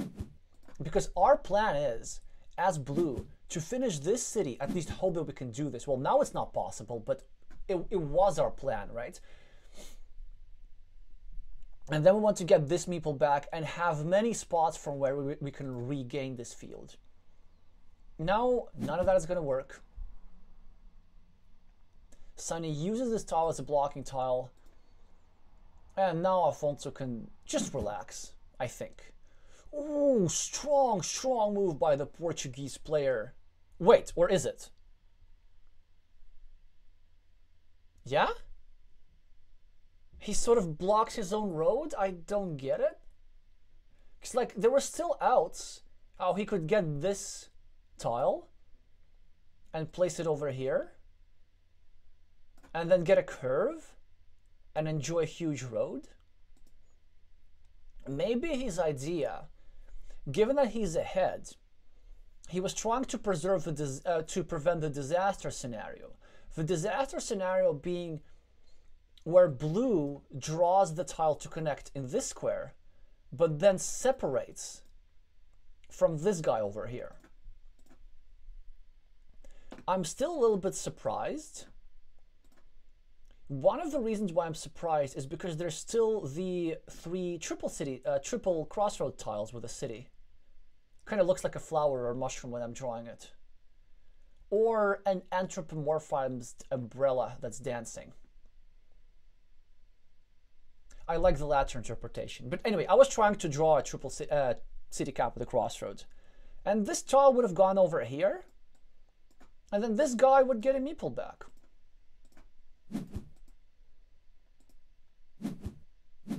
But it seems that Afonso just wants to close down the position, make sure that there are no big features remaining, and so that um, he can keep racking up quick points. So this city cap and scoring four points was kind of important, really important. And cruise his way to victory that way. Sunny's probably going to go over here, take two points, leave an empty city cap pointing somewhere, or go over here, take two points.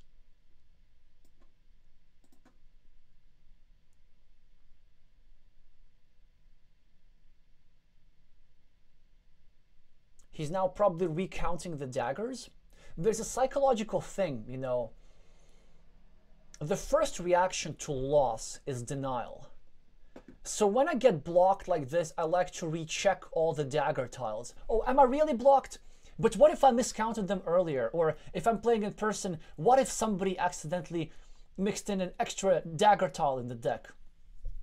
But no, no, this meeple, irretrievably lost and not coming back because look at this, this dagger tile, this dagger tile, this dagger tile, they have been used.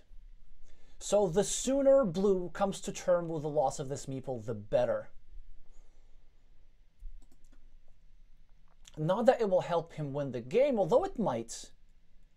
Maybe there's a way how he could score a lot of quick points. For example, if he draws a really large number of city caps, that could work. Yeah, so look at this. Maybe he hasn't come to terms fully. Like, he's taking two points in a way that's sort of defending the square. And uh, I think he knows, I think he knows, either deep down or actually that this square is not getting filled.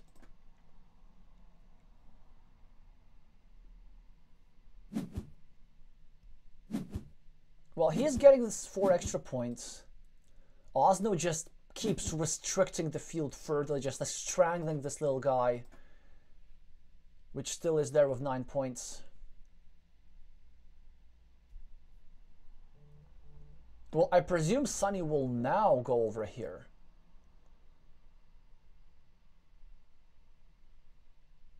Ooh, Joao was making an excellent point.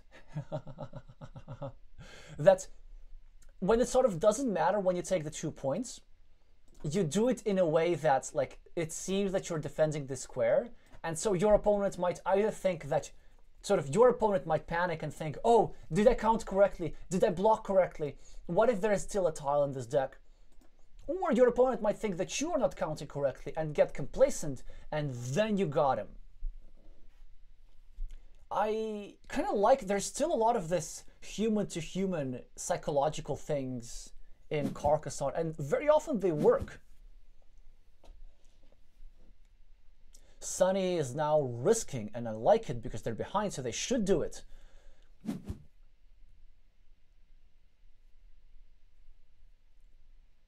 But unfortunately, this is just not the tile that will do it for the player from Hong Kong. No meeples means no quick points.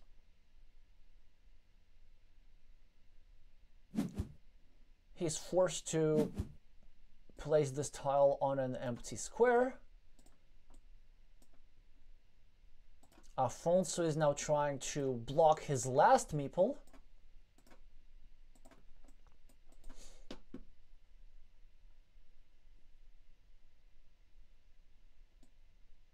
And it seems to me that Sunny should defend, given that there are still two tiles that give him a meeple back, and both of them are such tiles that would fit together with this one. I see one of these guys still remaining in the deck, and one of these guys still remaining in the deck. So this move over here is kind of a no-brainer.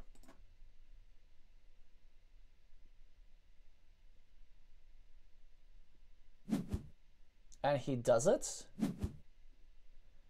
Afonso just keeps trying to block. Now Sunny has a difficult decision. Do you go over here and give yourself and slightly restrict the square, but make sure that there's at least one or exactly one tile remaining that fits over here? Or do you leave the square open, leaving yourself two tiles that can complete you the city? But you give your opponent a chance to block you completely with a city tile. This is a moment which could take like a really, really long time to calculate. In order to make the correct decision, you have to know all the five remaining tiles in the deck. I see that there's a Dorito, there's a Monastery, there is a starting tile, there is a triple crossroads with a city cap, and there's something else.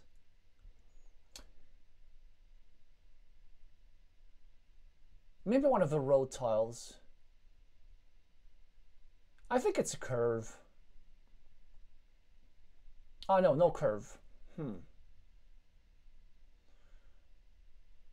I'm too slow at this.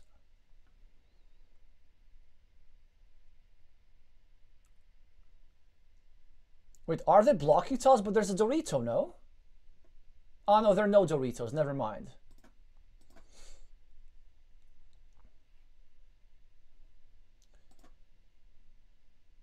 Yeah, it, it's so... Okay, Alfonso's now blocks, so makes... Okay, there was a straight line, yeah. Alfonso now makes it sure that there's only one tile that fits into this square as opposed to two, which is a reduction of probabilities.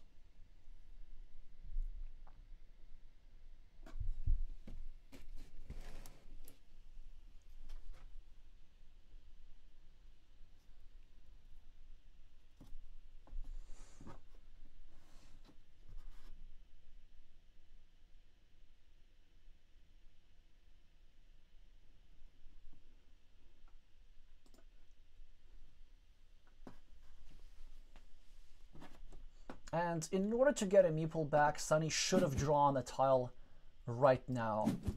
Alfonso get the seven points from one of the two tiles that could have fit Sunny. And he's going to get both of them because Sunny just draws a straight line. Can't do much. Actually, he can.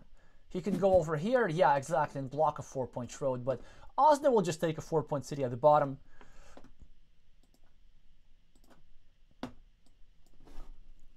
And win the second game, which means I'm just going to update the score straight away because I'm too excited to see the fact that both our first match of the day and the last match of the day will come to a decider game.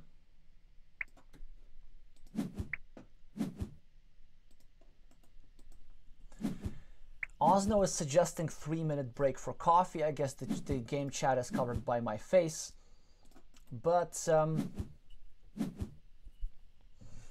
I'm surprised. It's kind of late for coffee. It should be now 1500, well, 1512 in Portugal.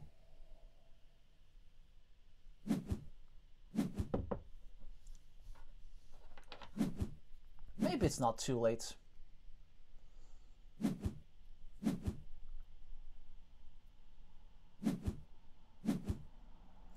So let's see what the point difference is. Not that great, actually. Only plus 14.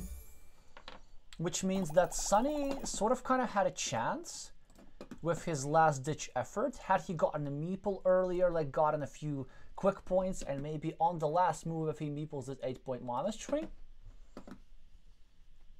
good things can hap could have happened for him. Honestly, I think I might have underestimated how close this game was. And this is probably because we often forget monastery points. Here was the six point monastery. Here was a seven point monastery. So both winning mini battles against small cities. No really big features, but blue had something going with features scattered across the board.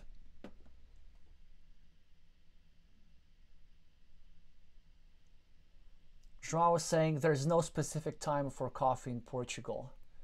That's noted. By the way, also, like, is it true that in cafes or like drive-throughs, coffee costs like 50 cents or super cheap? Because here in the UK, it's like three euros minimum, well, three pounds minimum, uh, pretty much anywhere you go. And when one of my friends, one of my Latvian friends who lives in Portugal told me this, I was shocked to the point that I did not want to believe. Like, envy started flushing through my veins. Well, anyway.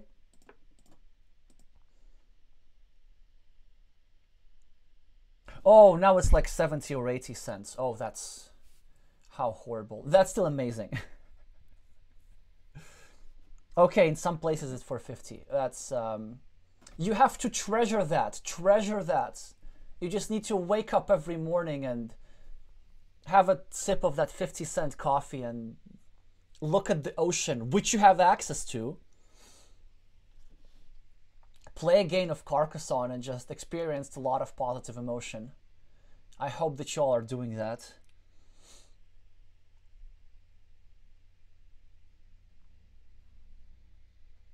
Okay, we need to update. Start refreshing the page. Did they start playing? Oh, that was quick.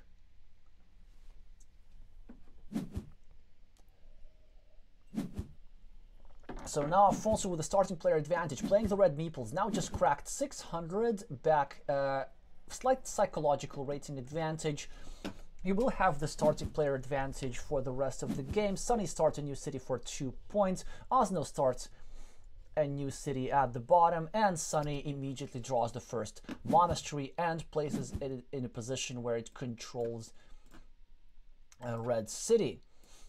Uh, Afonso immediately draws a Monastery back and pre-builds a three-point road quite wisely. Sunny will probably take it like this with three points or like this indirectly, which honestly is also not such a bad idea. This probably is a little bit stronger with the road end pointing up because it makes it harder for Afonso to draw a second monastery and stack them. So then let's say if um, blue goes here, and red draws a monastery. Red will now not be able to put it into this square. Red will be forced to go over here and stack. And this is precisely the move that the player from Hong Kong chooses to make. Also gets on the scoreboard. And nicely secures this square, kind of indirectly pre-building really a five point road going through the city. Like this is what's most likely to happen, but it's such an interesting tile that Afonso just drew. And he chooses to put it into his own city, which I rather like. And now his plan is to go here, here, here, here, here. Like this is what's going to happen. At least this is what he will attempt to have happen. This is not an easy tile to play for Sunny, and he chooses an interesting approach which maybe I wouldn't have. His idea is now to try and build around over here, but I certainly, I think this move warranted more patience because it's just such a good tile that I would have liked to place it here instead. Put some pressure on this city and maybe just try to run away with 8 points like this. But uh, the player from Hong Kong chooses a more direct approach. And they should probably continue with that. Maybe like go over here, make it harder for red to attack the city from the side, and at the same time, they would be making this square vulnerable and preparing to block it from this side. So certainly the move that is warranted in this position is like this. This is exactly what they do. Nice find here by the play with the blue meeples. And Afonso responds by completing a four-point road.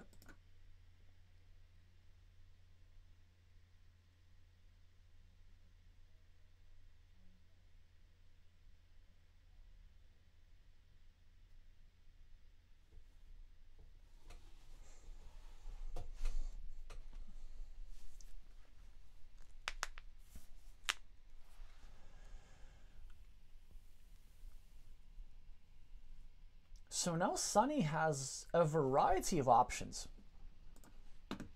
We could just go here. Yeah, that's sort of the natural move. An alternative is to go here and like block the city. But probably as blue, you want to finish your own city first and only then attack further. But as blue, there's something even better. I think you can go one square above and kind of at the same time pre-build this, but also protect this square, but also attack this square. I mean, this move is also okay. I just felt the other thing was like a little bit stronger. Now, uh, Sunny, you probably go here, put inflict pain on this square. You might also go here as well, trying to simply block your monastery with two meeples of your opponent. And he does that. I really like it. Now, what does Osno do? This is super interesting. He draws the last starting tiles earlier on, and he decides that, you know what, it's time to protect the city, even if it makes it attackable from this side. Of course, meepling this road in anticipation is also a strong move. If a tile is placed here, then Red's road will have six points on it. And I think the thing that Red is planning, he wants to draw a Dorito with a road, and he's gonna play place it over here, facing it like this, and putting the curve over here. And then he hopes to draw a curve blocking this square, at the same time blocking this meeple, but freeing up his road. So this is the Portuguese player's sinister plan. I guarantee that. And so what Sunny wants to do, he probably wants to grab a regular curve at some point and place it over here, cutting down this road so that the only available tile that can be placed into this square is one that splits the road and secures the four points from this side for the play with the red meeples. So it's certainly a race to whoever's going to draw something nice here. Sunny is now getting a split splitter tile to start a new city somewhere. He's thinking where exactly that's going to be.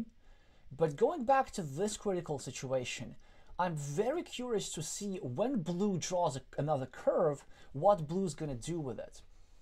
Or red, for, for that matter. So blue has the threat of going over here, right?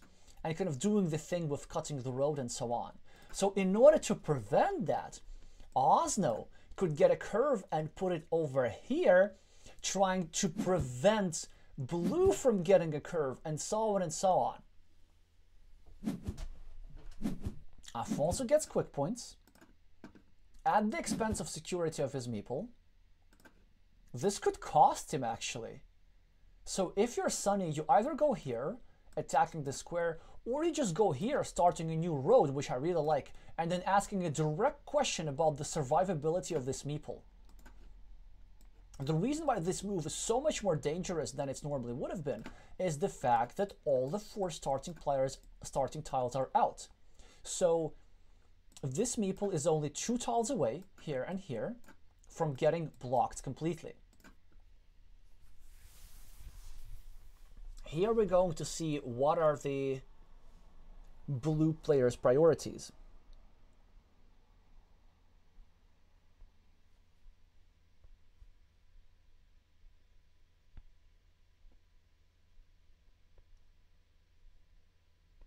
Oh, that was actually a nice suggestion from y'all is that this tube divider would have been better here. Ah, I think this is a miss here by Sunny kind of attacking his own city, and it's just um, a bit of a less efficient blocking attempt here. But it's kind of hard to spot because one of the most difficult things to do in Carcassonne is to adjust your general strategy that you know to the actual run out of the tiles. Because if the actual run out of the tiles is skewed, then sometimes the strategy that you know goes out the window because the game is very different without these tiles in play uh, than it is with these tiles in play. There are certainly many more blocking opportunities and the probabilities for each of the blocking approaches change. So even though normally this would be a decent move, now starting a two-point road over here, especially with so many roads ends available, would have been much stronger. And look at this. Somehow is getting away with this city. Like, how did that how did that happen? If he finishes this city, he doesn't care about this meeple one bit. That's just a win. Okay, Sunny now gets a curve. Now he has his one chance to go here and here only. Ah, but this is also good. He is continuing, uh, giving himself one monastery points and giving himself an attacking platform. And look at this, just in time, just in time, he gave himself time to prevent a disaster. Because red finishing this city would have just been so bad for blue. Quick points go for Afonso, 15 points on the scoreboard. Sunny gets a straight line. Not really good use to it, except maybe going over here that is a good use to it. Kind of uh, trying to put some pressure on this square.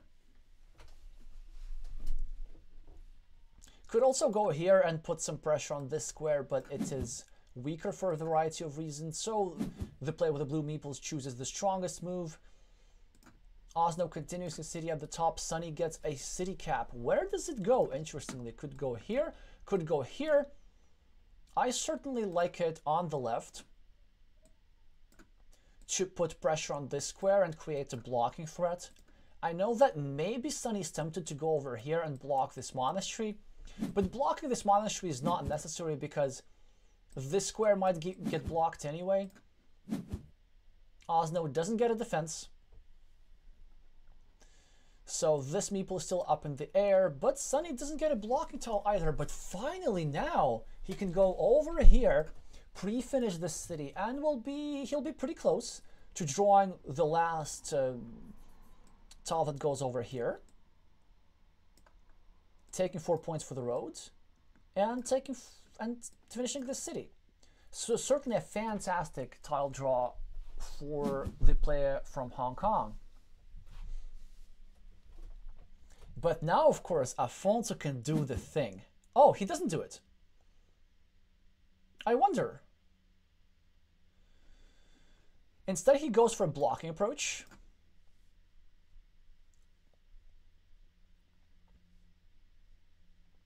And Sunny has pretty much only one option. Like, you have to complete blocking here. Pretty much non-negotiable. Or you could go over here and try flip through this tile that goes into this square. It seems to me that blocking is more important. And this is exactly what Sunny decides. Osno continues blocking attacks on the left, also playing very, very quickly, trying to put some time pressure on the player from Hong Kong.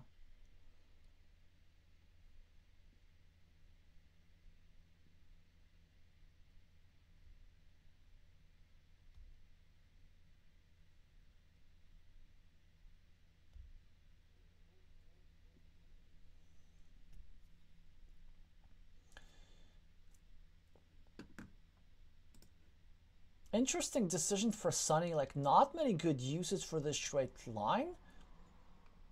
Can we go here and start a new road, like to do something?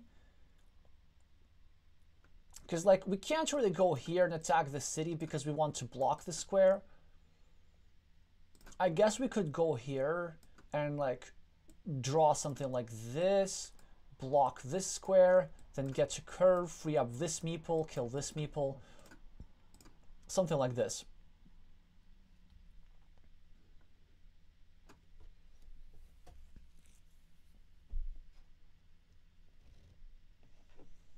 I guess we'll just wait and see.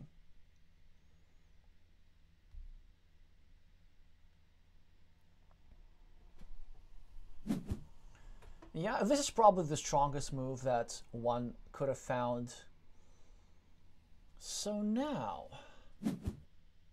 Afonso just finishes his city, chooses not to attack the city over here, although that was an option.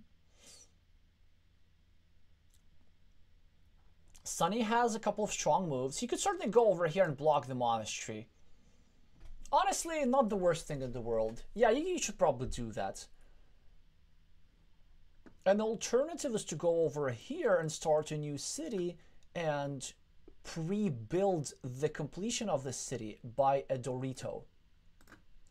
This is a common pattern of use of a splitter. This is interesting. I'm not a fan of that move at all. The reason for that is because there's still tiles that there's still two tiles that fit here. Maybe I'm being a bit unfair, but the reason why I don't like this move is because the sequencing is a bit off. Like, you don't want red to get this meeple back. Because then red probably wins. And, like, this blo blocking is important. Especially, like, there are five curves remaining. I know that it might seem scary, leaving herself only two tiles to complete the city, but you gotta be patient. Because Reds still can block your city. Like there's still the idea of red getting this thing that we talked about earlier, placing it like this, and then finding a curve, and then placing it like this, and even dropping a farmer, and then all you've done is just wasted a beautiful tile for one point, pretty much for nothing. And look at this, and Afonso just knows what to do, right? It's just beautiful. He makes it much harder to block this monastery, but Sunny is getting a second chance. Should he block this monastery? Yes, yes, he should. And he even gets to start a new city. Decides against that, decides that he needs meeples for other things. So this sequence turned out alright, except that it's a bit, um, how would I say, a bit of an inefficient use of tiles, if you ask me. Red makes it harder for Sunny to complete his city. Still not impossible. Still one tile remaining that fits into this square. I presume that we're going to see one of two things. Either Sunny is going to complete his monastery, or he could go over here and flip for this tile. Kind of set up the completion of the city. And honestly, given that he's a bit behind on the scoreboard, given that Red has a monastery here, I like that move. You might even, like, if you even drop a farmer, then you probably win this game if you get this tile. Because it's just so high impact. City, uh, whatever, four point road, field, and so on. He does not do it just yet. Simply finishes a monastery. Osno does not start a new city over here, which surprises me. And also, he does not go over here? He does not want to try and block this meeple? I see why he... Oh, I see why he does not want to do that. Because there's zero tiles left here. I think I missed one of the daggers? No, I didn't.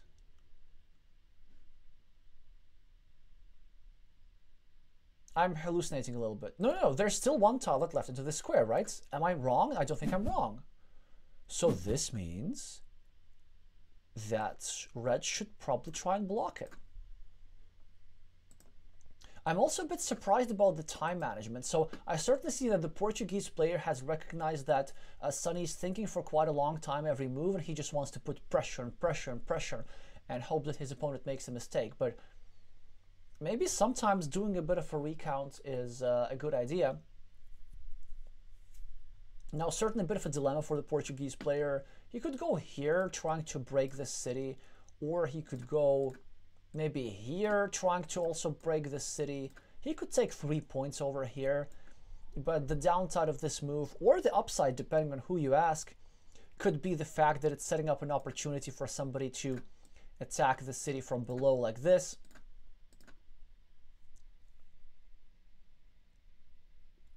Yeah, Nallerheim is saying just a waste of a turn by Osnofaac. Yes, absolutely. Like this tile, what's wrong with placing it over here? It's really strong.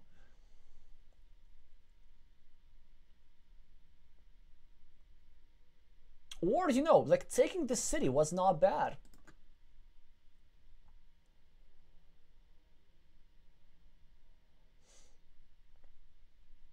By the way, I think it's an imprecision here from Sunny. Like for for a variety of reasons, it was correct to meeple this city not here but here, placing the city cap up top, making sure that red has fewer attacking opportunities. And for example, if red goes here right now, this is only because of the yes, exactly. This is only because this piece of road. So with this placement, Sunny himself just cost eight points. Because had he sequenced it a bit more thoughtfully, had they put this tile over here, then uh, with this tile they would just get their 8 points. But still, an equal game, and maybe the city won't matter that much. The thing that will matter most is, of course, this, like how this situation is going to be resolved. Will red be able to block this meeple with the sequence that I showed earlier? Or will blue draw the um, city cap with the crossroads earlier?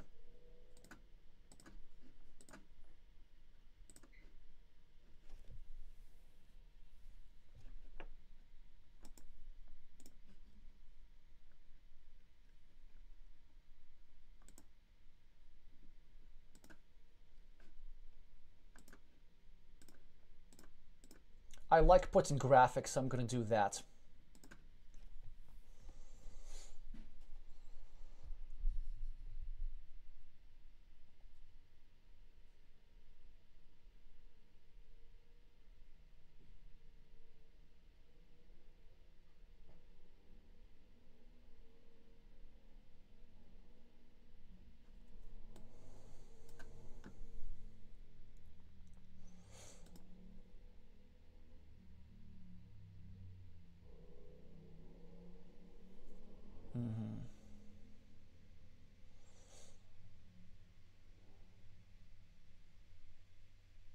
Sunny's thinking here. He could start a new city somewhere, but now that I look up, uh, we're kind of running out of city caps. Okay, red is about to miraculously finish this monastery somehow. This monastery looked so blocked, so blocked. Okay. Now with Sunny, you have a choice you could go here, score some quick points, or you could go here and YOLO again. It is, of course, unfortunate to spend a tile like this on a setup, but might be what's warranted. Oh, and of course, no, that would be unfortunate because no, no, no, we need a curve exactly because a curve would bring in this city into this field.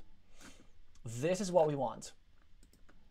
So with this move, we probably need to take three quick points, but where exactly? I think here is best. Just putting a little bit of pressure here.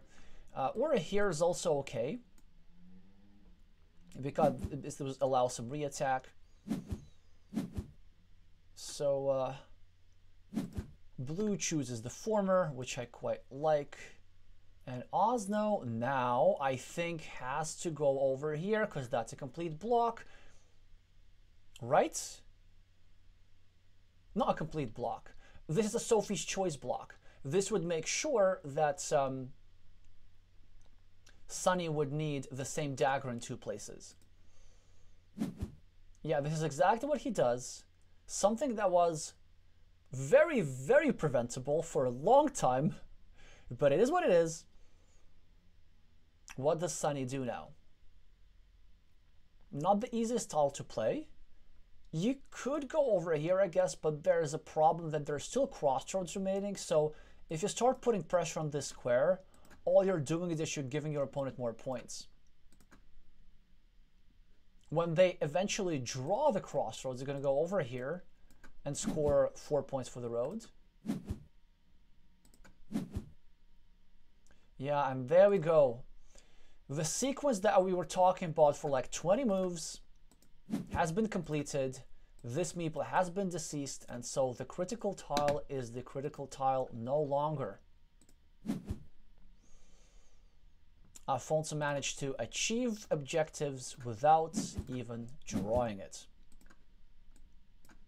And Sunny would have gotten it. Sunny would have totally won the game. He might win the game still, because the city was pretty good. But here, certainly a big, big concession. Not only did he lose the chances of completing the city, he also lost 9 potential field points and 8 road points. 8 road points because um, he would have gotten 8 extra uh, 4 road points and these 4 road points, well, okay, these 3 red, red points would not have belonged to red. So a huge, huge impact tile.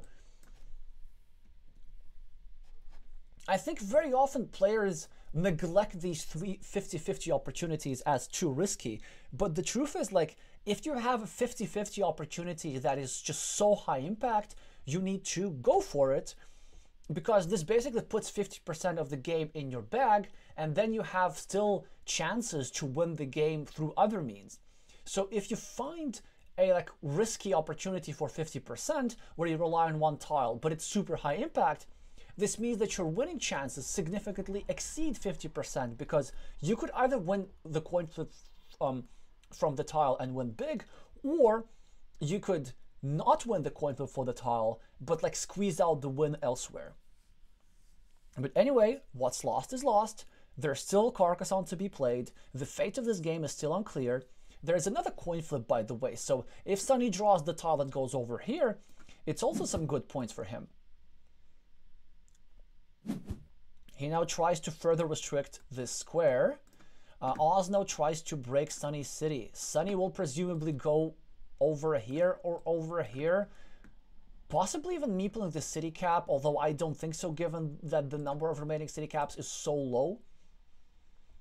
This is where utmost precision need, is needed, calculating all the remaining tiles, making sure that we continue this city in a way which gives back the fewest blocking opportunities to our opponent. Sunny chooses this route and meeples the city cap, decided there's enough city caps to take advantage of this opportunity. Now a difficult tile to play. Where does he go? Does he maybe go over here? Actually, this might be correct move given the remaining tiles. It's a bit too long to explain. But basically, there's very few big tiles remaining.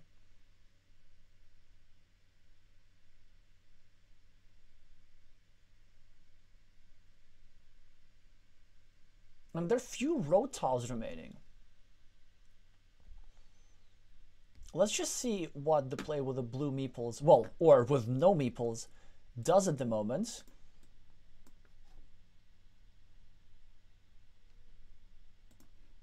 I guess if you really, really need a meeple back, one could consider not placing a tile over here at all.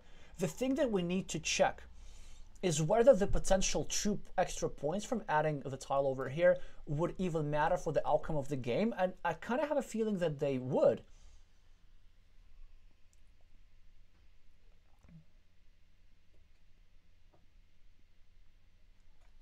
Okay, so now, oh, so thanks for checking this. So there's only one city cap remaining. Sunny can only finish one of the castles. And I guess the idea of taking this castle was like just depriving points from Osno?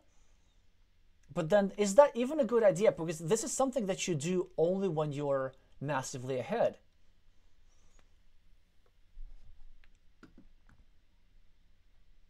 So then if Sunny can only finish one of the castles, then all you do is just add this tile over here. Get the extra points. Or maybe there's a way to sabotage some features somehow. Let's see.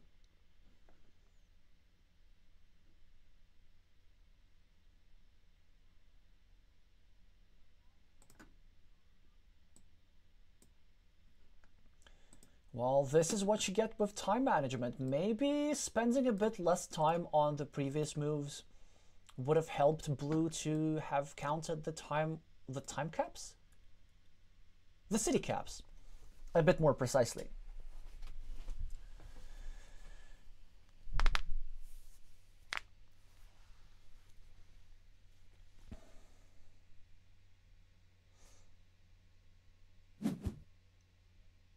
adds the extra points and Alfonso wins the coin for the dagger tile. Does this mean they also wins the game? We don't know. Or do we? 12 seconds on the clock remaining for the player from Hong Kong. Does he know the tile? Does he know the points? This could matter. I kind of have a feeling that this tile was all she wrote, but let's see. Plus 8 for the uh, player with the with no meeples, right? This cancels out. 5 points over here. This cancels out, so that's plus 13. 6 points for the field. That's plus 19. This cancels out. This thing over here is 7 points, so that's plus 12. And this is 16, so this is minus 4. So this tile was essential for Sunny to win. And there's probably nothing that one can do. They get an extra point. So it's only plus 3 now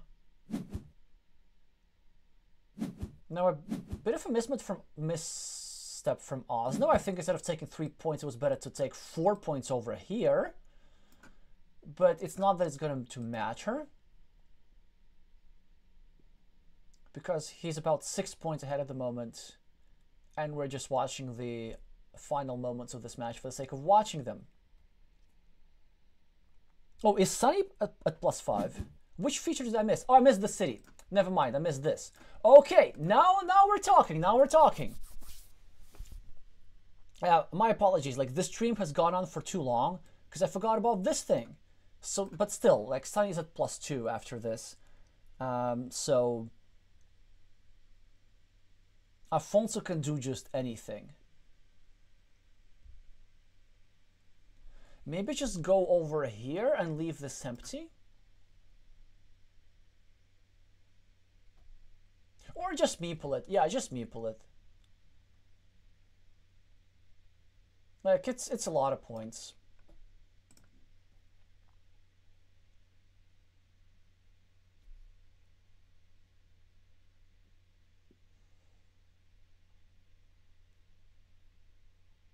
Actually, you have to meeple something because there's a road monastery in the game.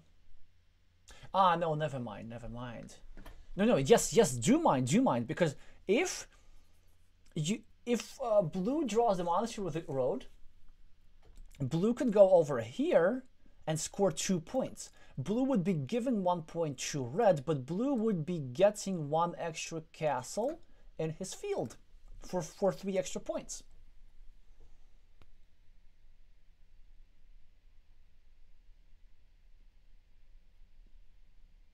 So it is important to meeple something and become at plus 2.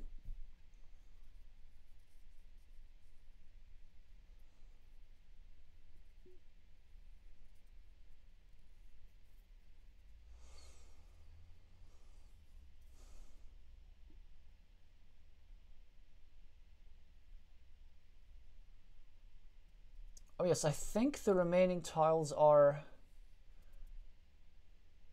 a regular Dorito and a monastery of the road, right? If I'm not mistaken. So if we go here, we as red are at plus two. Yeah, and then and then that's it. Like all Sunny can do is, is get one point over here, and then we just win with plus one. This six point field here, interestingly, is inaccessible completely.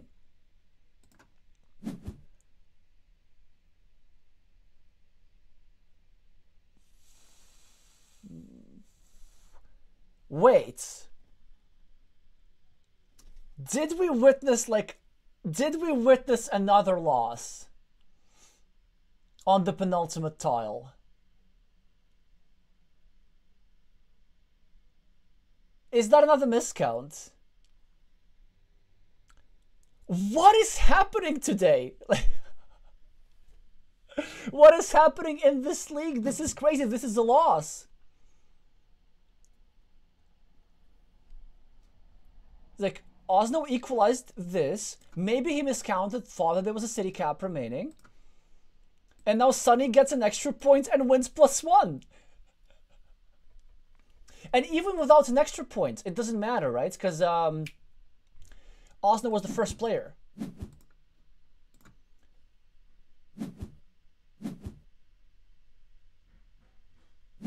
Did we... What did we just see? This is crazy. Poor Afonso. And what an ex machina for the player from Hong Kong. But look at this, the psychological move. Because Sunny made the mistake of meepling this city cap, Afonso maybe thought that his opponent has counted right and assumed that there were city caps remaining. So it was like a triple self bluff, a double triple bluff that worked in the favor of player with the blue meeples. This is like some next level Carcassonne. Oh. Yeah, there we go. The six point farmer catapulted him to 66 points. Very low point win. Wow. Alfonso saying miscounted points. Counting points is not the issue. Like, you still make a four point move instead of a two point move. So, uh, uh yeah, that's an, um, a way to throw a match, but, uh, this time will, this one will take some time getting over. By the way, you vote. Which one was the was the more high breaking? Bluestevos versus Should or Osno versus Sunny? Both penultimate move mistakes and um, wow, Carcassonne is ain't easy. also, like I feel bad for enjoying this. Okay, Sunny, Sunny is here in the chat. That was a gift. Oh, yes, it was. Okay, okay. Whilst you're still here, Sunny, when you meepled the last city cap over here, right? Did you know that there was only one city cap remaining? And did you meeple it simply so that Osno doesn't take accidental four points? And also, was it by any chance that you're trying to trick your opponent into thinking that there are more city caps remaining than they are. I have to know.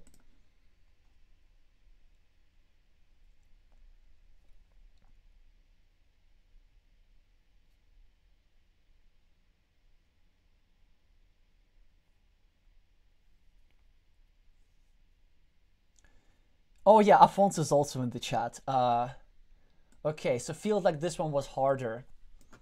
Anyway, well, for, for those of you who are joining just only recently, you have to go to the archive of a stream and then rewatch like the first duel where we had a very similar last move drama in the decisive game between Should and Bluste.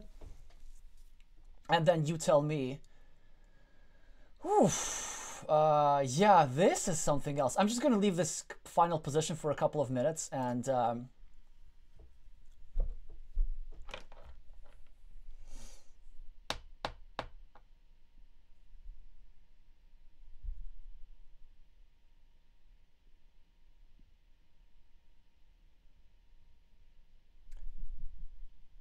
This is how I like spending my Sundays. Thank you very much for joining us for the for this coverage. A tumultuous coverage both for streamers and for players of the third round of the Carcassonne Champions League, which has gathered 48 of world's strongest players. Also, hopefully it makes y'all feel better that even the world's strongest players sometimes throw games, sometimes throw matches, and um, happens to happens to the best of us. Ah, okay. So Sunny is saying that you that you tracked the uh, tiles incorrectly. Ah, okay. So you didn't So it didn't count precisely, but you knew about the dagger. Okay, makes sense, makes sense. Whew. So let's see where this brings us. Like Group A. So we didn't witness a Group A match. The player with name lawyer from Ukraine currently enjoying his superiority over the rest of the field. Group B. I'm currently doing pretty well. Also, I, I, won three out of three matches. And in two of these matches, by the way, my opponent threw the game at the very last move, so I'm super happy about that. I'll take it. This happens a lot in this stream. Uh, not in the stream, but in this championship. Uh, then, Group 3, uh, Nalaheim's quite confidently on top. And we see that Should will be now leapfrogging over the rest of the field to the second place. Loishin second, Bluste in third with a dramatic loss today, and then Irving G and Lycos will have a much harder time qualifying. Group D, we didn't witness a Group D match today. Here, the situation is uh, a lot tighter, and we might witness these players at some point. Group 4, Group E, we also didn't witness, witness today, although we recently saw a Viv match, who currently is on 3 out of 3. Let's see if uh, the Hungarian player with the screen name Zekrid approaches him by winning this week's match. Group F. Now that was the one which we just watched, and this is super interesting. Okay, so so Sunny here just got his first victory, which will be super helpful, and maybe even this puts him over here in third. Well, I, I guess StatMat and like all these guys will have a time to play their match today. Osno still on two wins, and kind of defending, uh, depending on how these uh, players will play, will either remain in second or drop down a little bit. And of course, Vladimir Kovalev just not cruising over the field, because I think he's on 3 out of 4, if I'm not mistaken, yeah. Group Group G, the Lithuanian Batal Albatov is predictably, confidently above everyone else with... Oh, the Chinese player Mitao Cat is not doing that well. Also looks like a very, very tough group. Hopefully we'll be, witness a Group G match at some point. Group H. Um, So we witnessed the self-evident versus ekkyu match. Self-evident must have two wins. Now will be in first place. But then, of course, I think we don't have the outcome of this match yet. Oh! We have updates. Okay, that was very nice of you. So we even have all the results. Yeah, self-evident now in first as a result of the win that we witnessed earlier today. And in these games, okay, Osno still second, but yeah, Sunny in fourth, at uh, Sunny in fourth at least, and already as a result of this win in contention. So if Sunny qualifies, like if you qualify after this, you have to I don't know, like get a tattoo of a dagger or something like this, because it was that.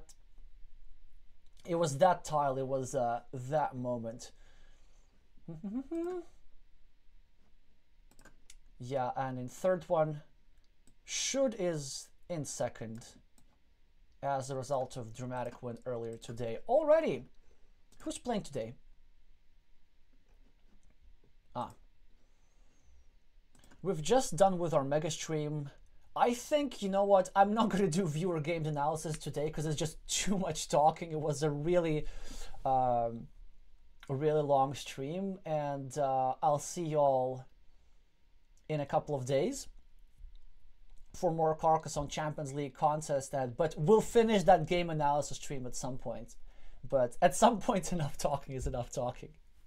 okay.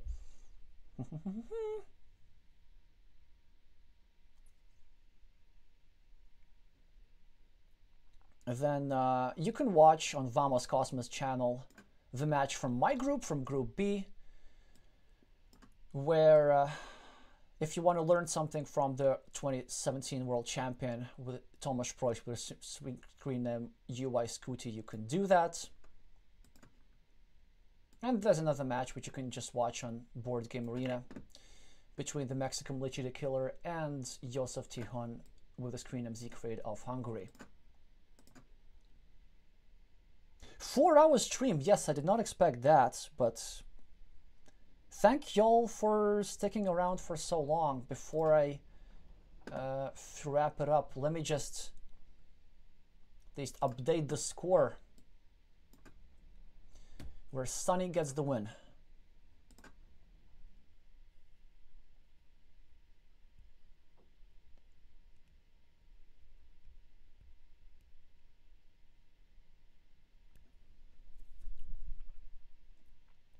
Yes, yes, yes, I see your message in, in the chat. Tile, tile tracking is important. But not just tile tracking. I really think it was, okay, I, I know what you said, it's tile tracking, but like I really want to think it was like some sort of three-dimensional chess or three-dimensional Carcassonne. Me pulling a city cap to make your opponent think that there's a city cap. Like that's a, that's a much more beautiful story. I'm going with that one.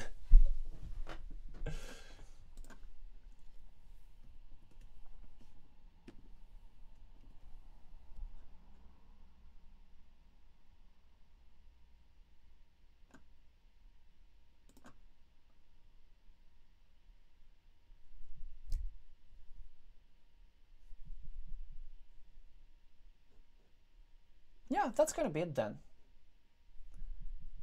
See you all in a couple of days. Thank you so much for watching, and I'm gonna see you soon.